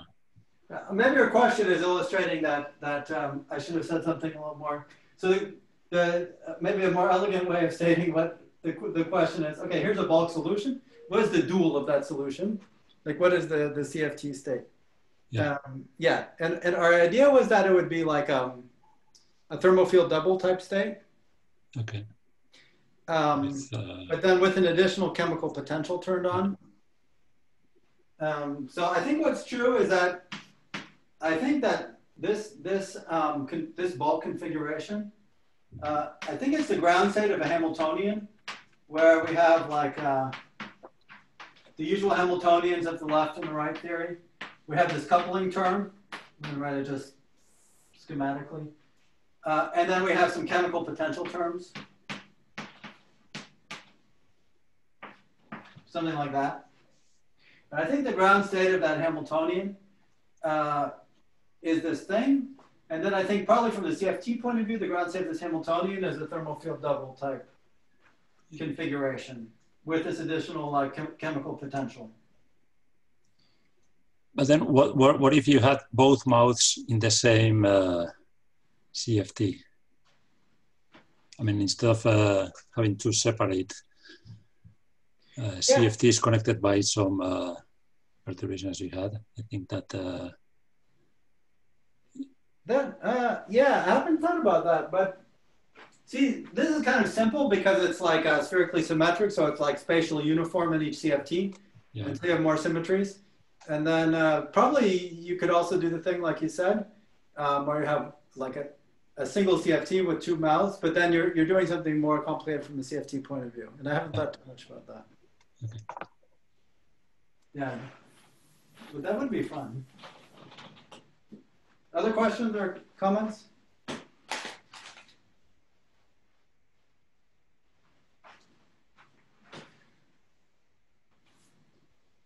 Okay, so so let me tell you like in a little more schematic way about things that we're trying to think about, which is like more local energy conditions. Because if you notice that this energy condition that I told you, this, um, I mean, it has a lot of uh, adjectives, right? Uh, like you can barely, you can't even apply it if you have, um, unless you have an achronal curve and then you have to integrate to infinity.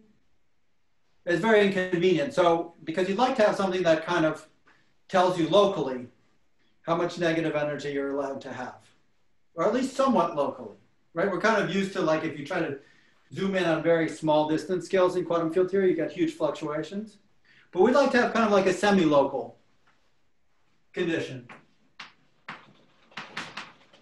You know, if you, if you average over some distance, then uh, how much negative energy can you have in that region? Okay, and I want to kind of mention some things we proposed and some things that we're thinking about. So first of all, let's mention some inspiration um, from some true formulas. Uh, and, and, for the same reason as before, I still want to focus on the, on the null energy for the most part. Um, okay, so one inspiration is that if you have 2D CFT, uh, then if you integrate over some region, so you integrate dx plus from zero to delta, so you, you average the energy along some piece of a null geodesic. Um, then this is bigger than a certain negative number.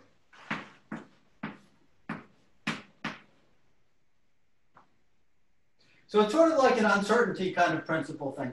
Uh, a, a, nice uh, example um, to get some intuition actually is if you do 4D free fields. Uh, and now for a moment, we think about the ordinary energy density, which is a little bit more intuitive than the, this null thing. Um, so suppose you integrate from zero up to tau um, of t zero zero. So you integrate along some null right? Um, so suppose you, you do that kind of averaging. Um, so then this was shown by Ford that this is larger than some number divided by this tau to the fourth.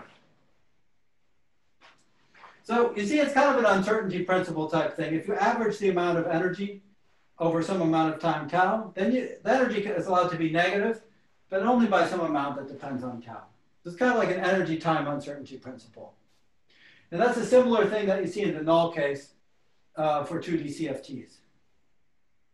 So basically what we wanted to have is we wanted to extend this null case to higher dimensions. Because, I mean, that's what we need. Because if you think about, you know, even in real life, we have like asymptotically de Sitter space. I don't know, we don't know that much about the asymptotics of our universe. If we want to rule certain geometries in or out, we don't want to have to rely on these geodesics that go all the way to infinity. We want to be able to say something local. Right, so the question is, what can we say in higher dimensions?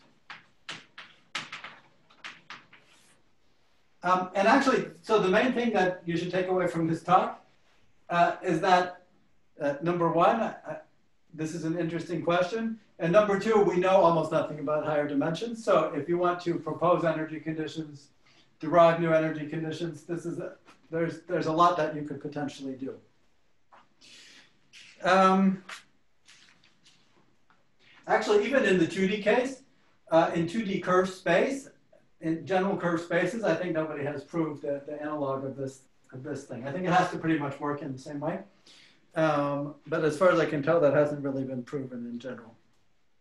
Um, okay, so what, what, what I've proposed um, in a paper with um, Dimitrios um, is the smeared null energy condition. Uh, and what we proposed is basically an analog of this thing. So we've, we've first proposed something in gravity. Um, so let's, let's integrate along some piece of an null ray. Some amount of affine parameter. Let's maybe use lambda.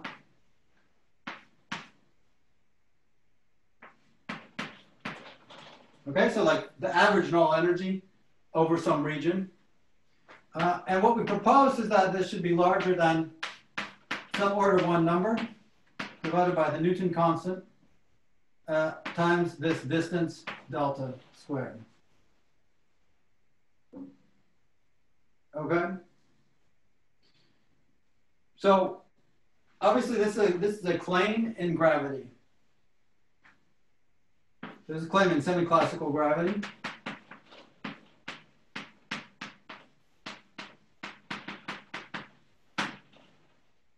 Um, and it's really just a guess. I mean, well, we made a guess. Um, actually, this was proven in a particular context of induced gravity, which is not the most general thing you could consider, um, by Leichenauer and Levine.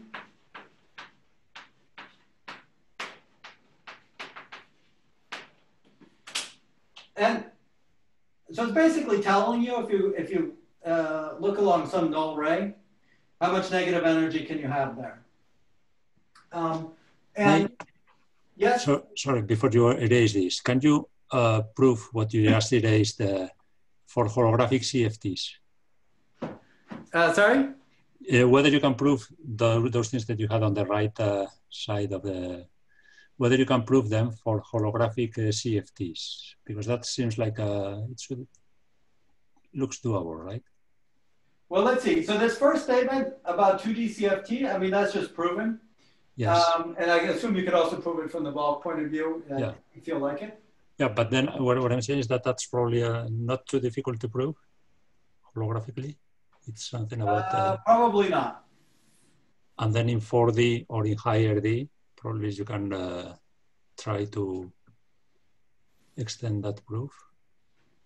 Yeah, so this, uh, well, this statement here is not about the null case. So do you want to talk about this case? Or? Well, whatever, whichever case. I think that uh, you, you, I mean, if you consider a holographic CFT in whatever number of dimensions, yeah, you can formulate this as the behavior of some curves in the bulk, integrals yeah. along uh, some classical uh, classical quantities that you integrate along curves in the bulk. Yeah. So, yeah, I mean that that's actually exactly what these people did. So they said. Yeah because so here's a G Newton, so you need to have a little bit of gravity on the boundary. Yeah. So they kind of take like cutoff AdS/CFT. Okay. Uh, and then they take this kind of quantity, and then they basically, just like you said, they they, um, uh, they use the, the statement that there, there shouldn't be shortcuts through the bulk. Yeah. Okay. Uh, and then they prove this this result. Okay. Um, the, the reason I wasn't stronger about their proof is because of some details. So so like the, the real, so this is like a cartoon version. So the real thing that we propose has like a smooth smearing function here mm-hmm. instead of just averaging sharply over this interval. And actually in quantum field theory, it's important that you have a, a smooth smearing function. And the thing that they prove actually doesn't require that. So um, it, uh, in some details, the thing they proved is stronger than what I think could possibly be true.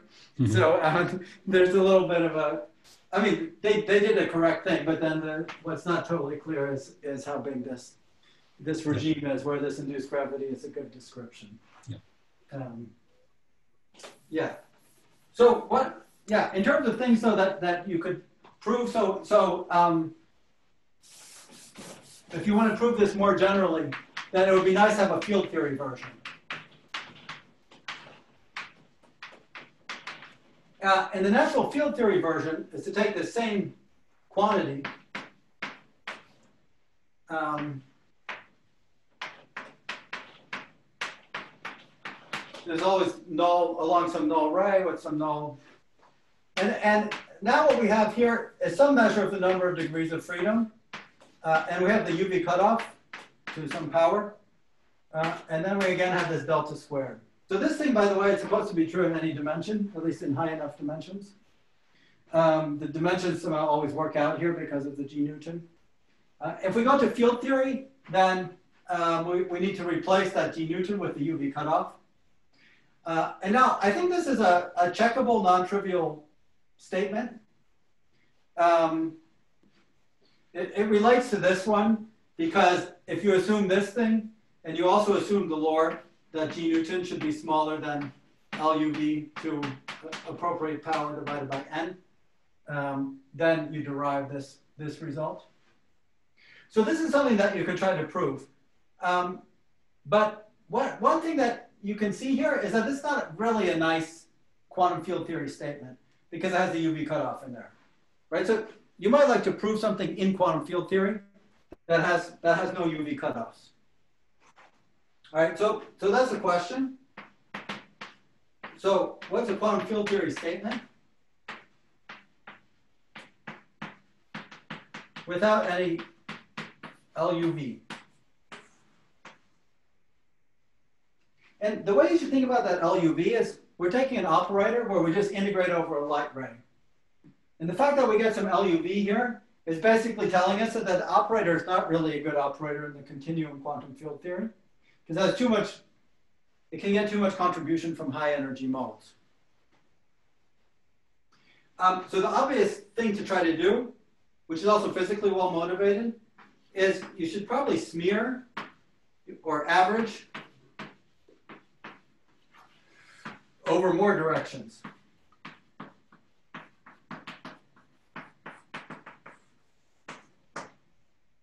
Right, so if you take some, so let's say t and x. So instead of just thinking about this operator, um, we should think about smearing this operator a little bit in both directions. So in the in the delta minus direction as well as well as the delta plus direction. You could also think about smearing it along the light sheet in the transverse directions. Uh, and then you can imagine bounds on the right-hand side that don't involve the UV cutoff. But at, at, the moment, we haven't proven any of those things, even in, even in free field theory. Okay, so that, that, that's one fun question um, to try to answer. Um, roughly, you'd expect that this LUV to a power will be replaced by uh, like the space-time volume in this in this um, parallelogram here. Um, yeah, and one, one thing is, you know, this lambda is an affine parameter, so um, this whole left-hand side scales in a certain, you can always rescale the affine parameter. The left-hand side rescales in a certain way. And so like the, the power that appears here is basically determined by the symmetry under rescaling the affine parameter. Can I just comment in? Yes. So in the 2D version, you don't get this dependence on LUV basically because of uh, dimensional arguments, right? Yeah. exactly. At any higher dimensions, you have to get rid of that somehow. You have to introduce a scale in some yeah. way. And then if you want to do away with that, then uh, you have to come up with uh, something that replaces that, uh, that scale. Yeah, exactly. So, so yeah, exactly. So as soon as you say you want to consider this, this thing, then this, this has certain dimensions. So first of all, we have the rescaling under lambda. Um, and so we need, we, we have to put, we have to put delta squared there. That's required by the rescaling of the affine parameter. Yeah, and now as you say, we need the, we need the overall dimensions to be this dimensions of the stress tensor. And then, yeah, you need a dimensional thing there. Yeah. Yeah. So then if you want to do something without the UV cutoff, what length are you going to introduce? Yeah, so I think like a nice, um, so let, us say we integrate, um, let's say we integrate over, over like the x plus as well as x minus. Um, then you know, I think we can get like in four dimensions is, is uh, something like that.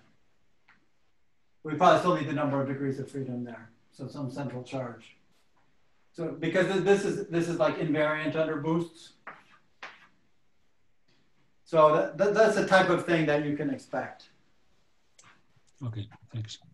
There's another thing that's also consistent with dimensional arguments, which is involves just taking a single light sheet and uh, averaging over the transverse direction. So instead of this thing, you can put some like transverse area A. But if you look at it in detail, you actually find that that bound is just not correct. So you can find counterexamples. But this one I don't have counterexamples for. I think that the, the maybe general lesson is that uh, for a general quantum field theory operator, um, you need to smear it a little bit in order for it to be a well-defined operator. Um, and in general, smearing in space is not enough. Smearing in time is what you need to do because that controls the high frequency stuff. Uh, and if you smear in both of these directions, you smear in time a little bit. So I think that's probably what you need to do to get like a, a good quantum field theory operator. Uh, and if you think about the, the gravity application, this is also like a very nice, this is a very natural kind of thing, right? Because you would think like, okay, I don't actually care about like a single geodesic. I care about, um, you know, some, some small region of, of null geodesics. Or if you just think about what you could measure, right? You would always measure the null energy averaged over some region like that. Um, okay. Other questions about, so this, this is kind of like, so we, we proposed one condition, but I think really there's many more things um, that could be done there. Um, what, once you, so now let me talk a little bit about the other side of this. So if you assume something like this smeared null energy condition, then of course, the whole point was to say something about what sort of space times you can have, right? Um, and so what can we say about singularity theorems? Right, so for these traversable wormholes, at least the ones in asymptotically flat space, um, we were able to make some progress using these um, averages over infinite null geodesics. But we didn't make any progress there on, on these trap surface type theorems, right? The, the, the thing that's in the original Penrose theorem where you say, if you have a trap surface, then you'll have a singularity. Okay? Um, so for this, um, so this is some work with um, Eleni and um, Dimitrios.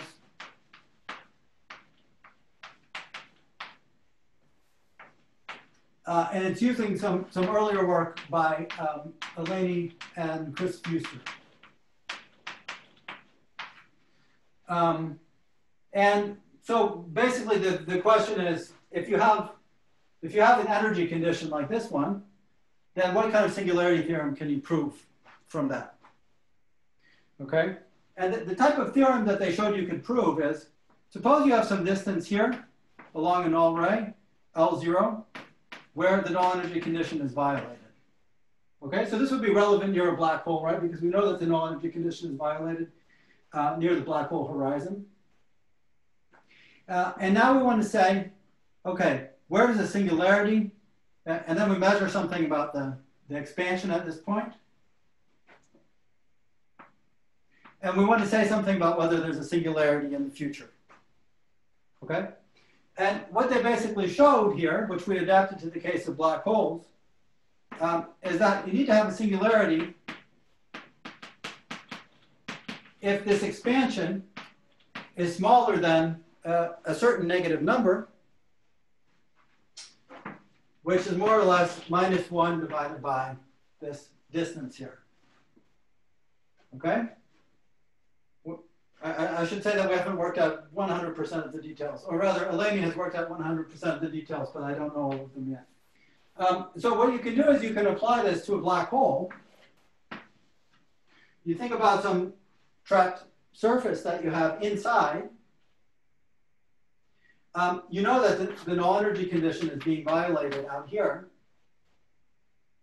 And so basically, um, if you have a trapped surface here, some distance um, a little bit inside the black hole. So at a value of the radius, which is the Schwarzschild radius times like 0.8 or some order one number like that, then you can prove that there will be a singularity in the future light cone of that, of that point.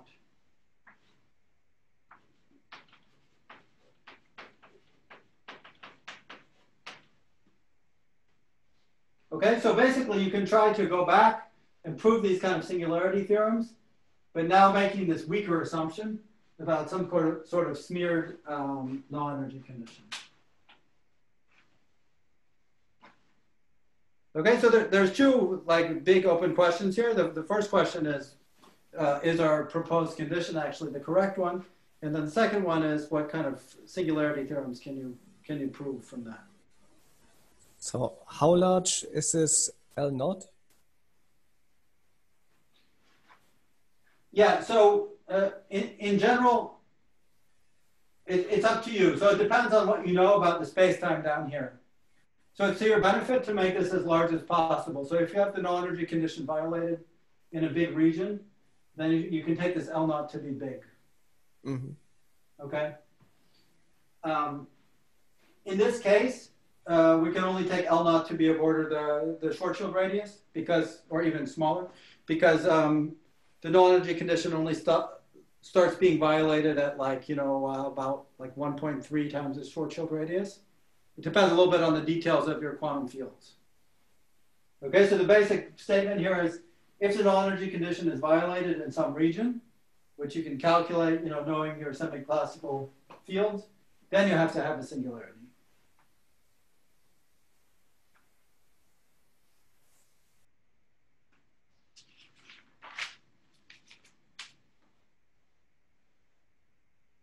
All right, so I, let me kind of summarize. I, I do want to mention one um, kind of different approach that's sort of complementary to this one. Um, and, but I'm going to only mention that in like one sentence. So another approach uh, involves this quantum focusing conjecture, um, which was proposed by um, Bousso, Fisher, Leichenauer, and Wall. And what they said is basically there's a, there's a different way that you should deal with all of this kind of stuff. Instead of thinking about these old fashioned things like the area and worrying about violating the, the null energy condition, you should just take the area everywhere and replace it with what you could call like the quantum area, which is the usual area plus 4 times g times the entanglement entropy. Uh, and then if you believe their quantum focusing conjecture, you can kind of prove singularity theorems, but now everything in terms of this quantum area. So that, I think that's a very interesting approach. Um, I don't really know if this quantum area is like measurable, so I think it's still useful to have these sort of old-fashioned kind of things in terms of quantities you can actually measure. But I think there's um, still interesting connections between that that approach and the and the other approach. Um, but I, I, think the dream here would be that we never, we, we only, we rewrite everything in terms of the quantum area. And really the thing I want to know about this is, I like this idea of the quantum area, but then I'd like to know, like, can you combine all those quantum areas into a quantum metric? And uh, like do GR with that quantum metric or, or what? Um, okay, so let me then summarize the, and say a little more about the open questions. Um, so we have this basic question, which is about the allowed spacetimes.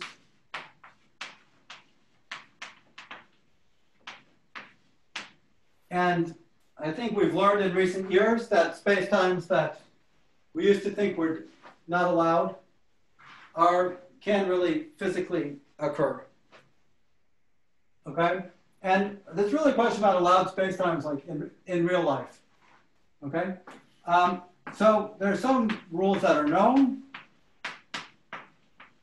like this average null energy condition in Minkowski space. There are some rules that are suspected uh, like this self-consistent achronal average null energy condition. There are some rules that have been proposed, like the Smear null energy condition. But I think what we have is we have more questions than we have answers about this stuff.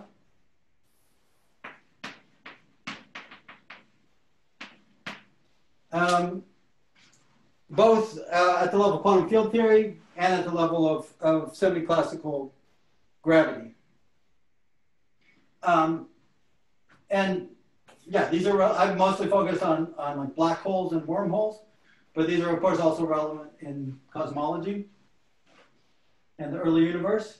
Um, and I think it's a very interesting area and I will work on this, but I think there's plenty of room. I'm not going to manage to do every interesting thing in this area. So um, I think there's a lot of room also for you guys to do interesting stuff. So thank you for having me. So it's a great pleasure that you have provided such elaborative uh, introduction to the subject. Now I am uh, requesting to all the participants, please unmute yourself and ask questions. And before that, please uh, give a clap for him for giving such a nice introduction.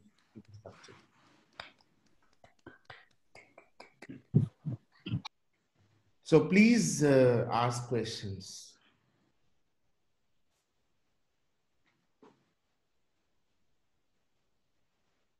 Everybody have asked questions? Interesting.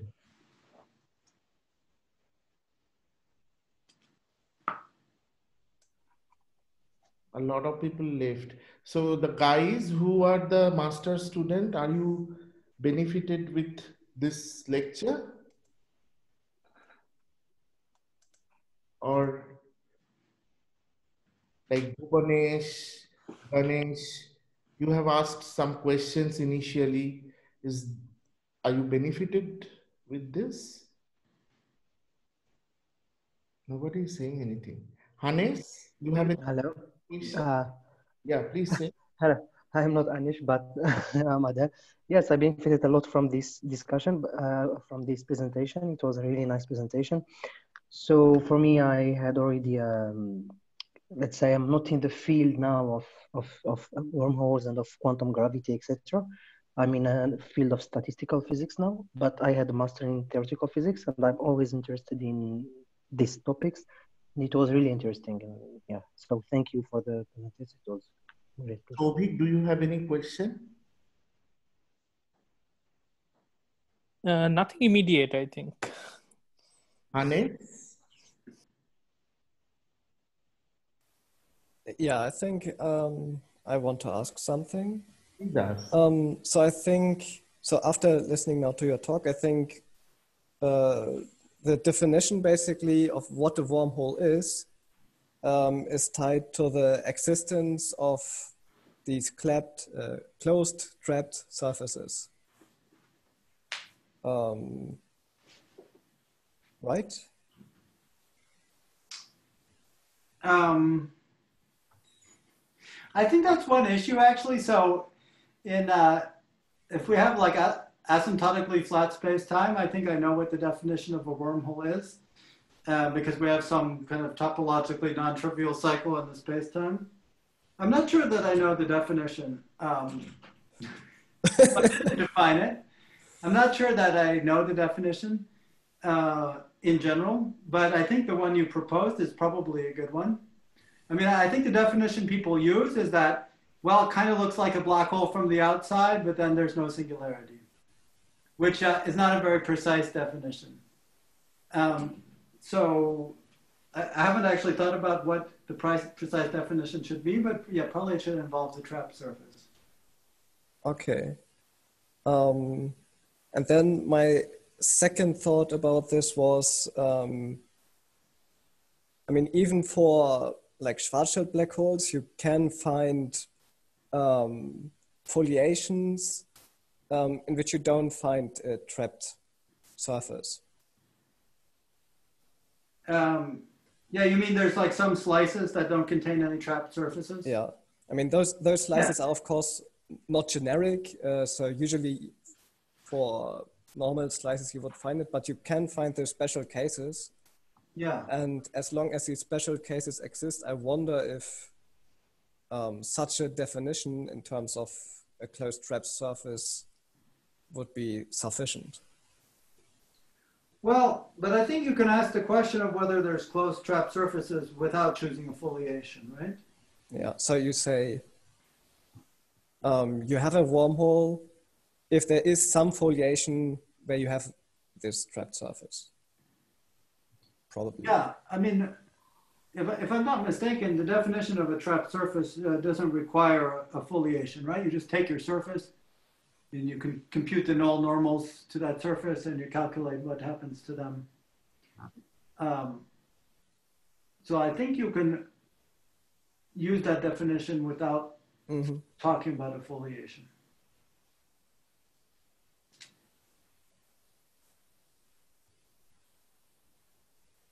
Any other questions, guys?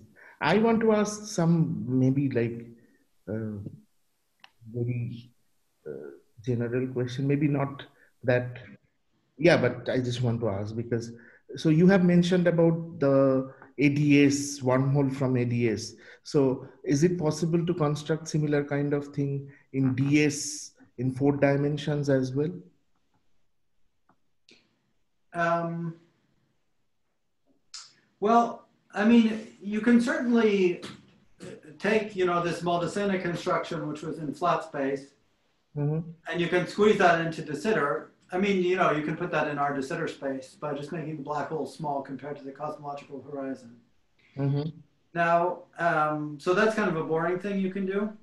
Um, now, there's maybe a more interesting question of like, you know, when you start to make the black holes of a similar size to the de Sitter radius, whether the de Sitter space makes it easier or harder to do that. Mhm. Uh, and I haven't really thought about that.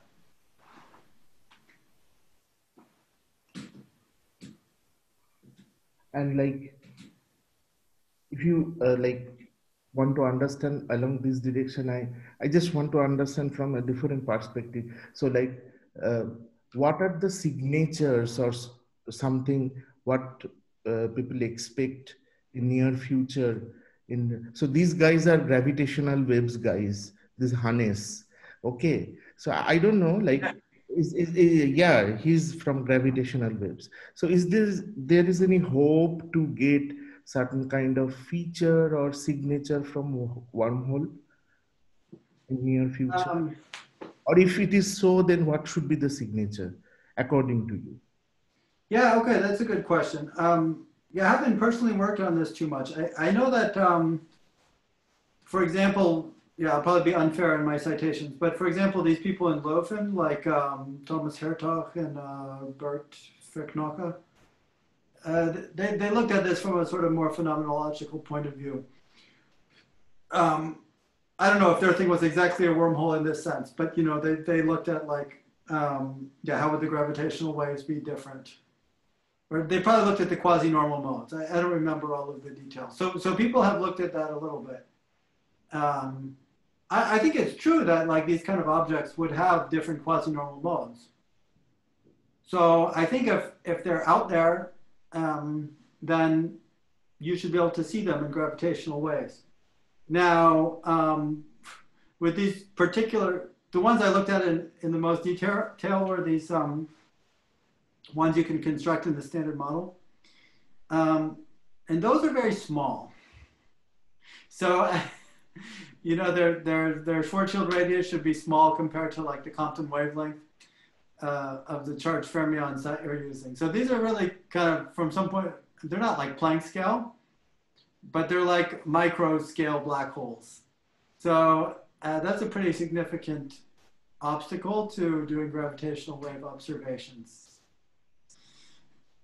Uh, yeah. Is there any other way or uh, to connect something with some other thing so that, like, I can understand it is very uh, like uh, problematic to detect the gravity waves out of that, but is there is any other way according to you?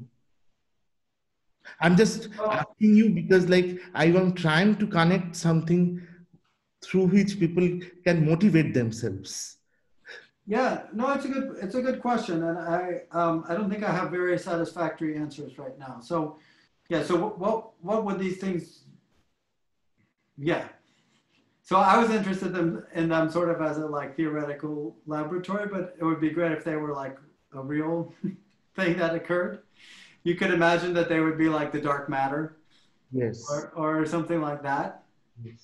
Um, but I don't think there's yet a very like um, persuasive production mechanism Okay. um, yeah, so I don't think I can give a strong argument uh, on that side. Hannes, you want to comment on that? Because you are the true gravity wave scientist. Um, comment on something if you want.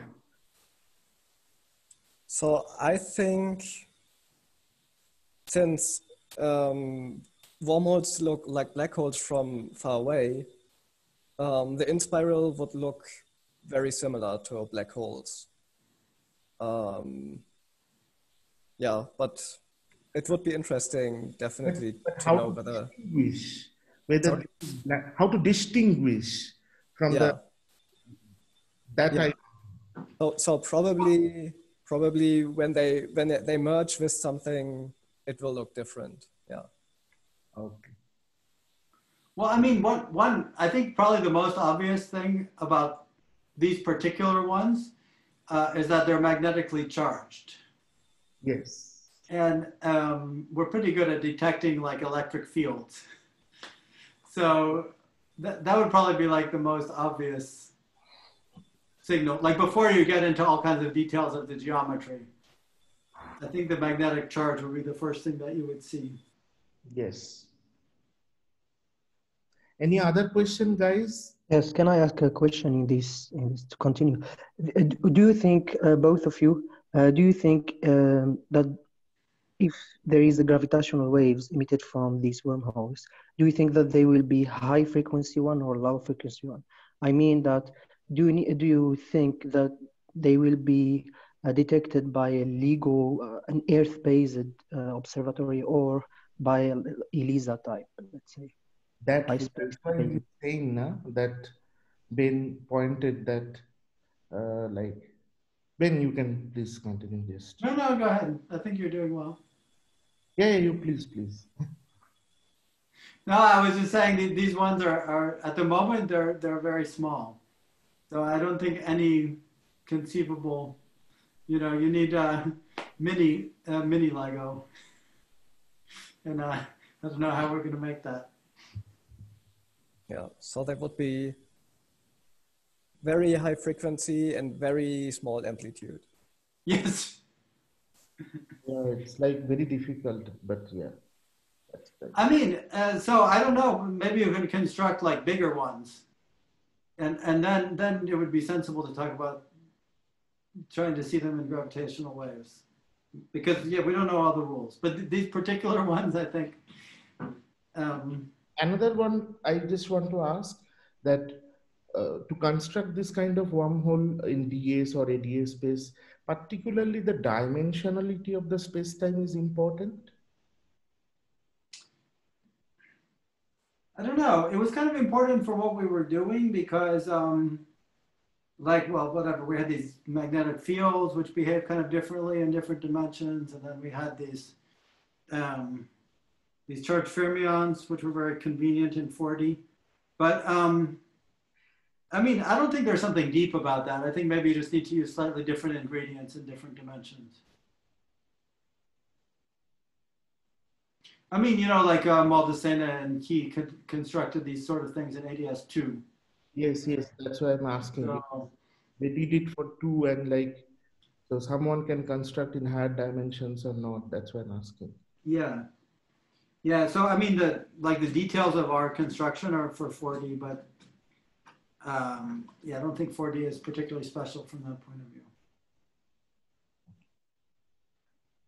Okay, so like uh, other people have no other specific question. If not, then I will end the session.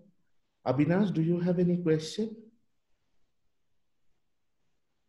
Uh, no, no, I, I don't have a question. Thanks for the talk. Though. And Deepak, Deepak, you want to say something?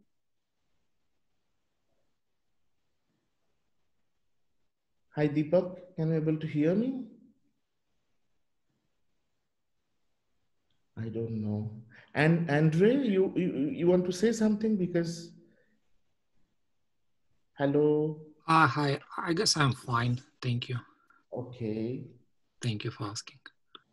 So I hope, Ben, you have also enjoyed that uh, discussion and the session. and it, it, was really uh, enjoyable for us as well that you have explained uh, quite a detailed thing. And uh, once I will put it in YouTube, I believe that the other people, those who are working and not also working, they will be uh, motivated from this. And uh, I'm requesting the other participants, those who haven't uh, like haven't asked any question right now. If you have any uh, question later, you can write to him. And uh, if I post it in YouTube, the viewers, please, if you have any question, then please contact him because this is kind of uh, like if you can be benefited out of that, it would be very nice for the forum. So, Ben, you want to say something? No, thank, thanks a lot for inviting me. It was fun. Thanks for coming. So, uh, stay safe and healthy. And uh, uh, uh maybe I, uh, I will invite you again with some of your new idea or new understandings uh, in near future. So I will get in touch with, with you anyways. That's not an issue. And I will share the link of this talk once I will post it in YouTube. Okay. Okay, great. See you guys. Bye. Bye.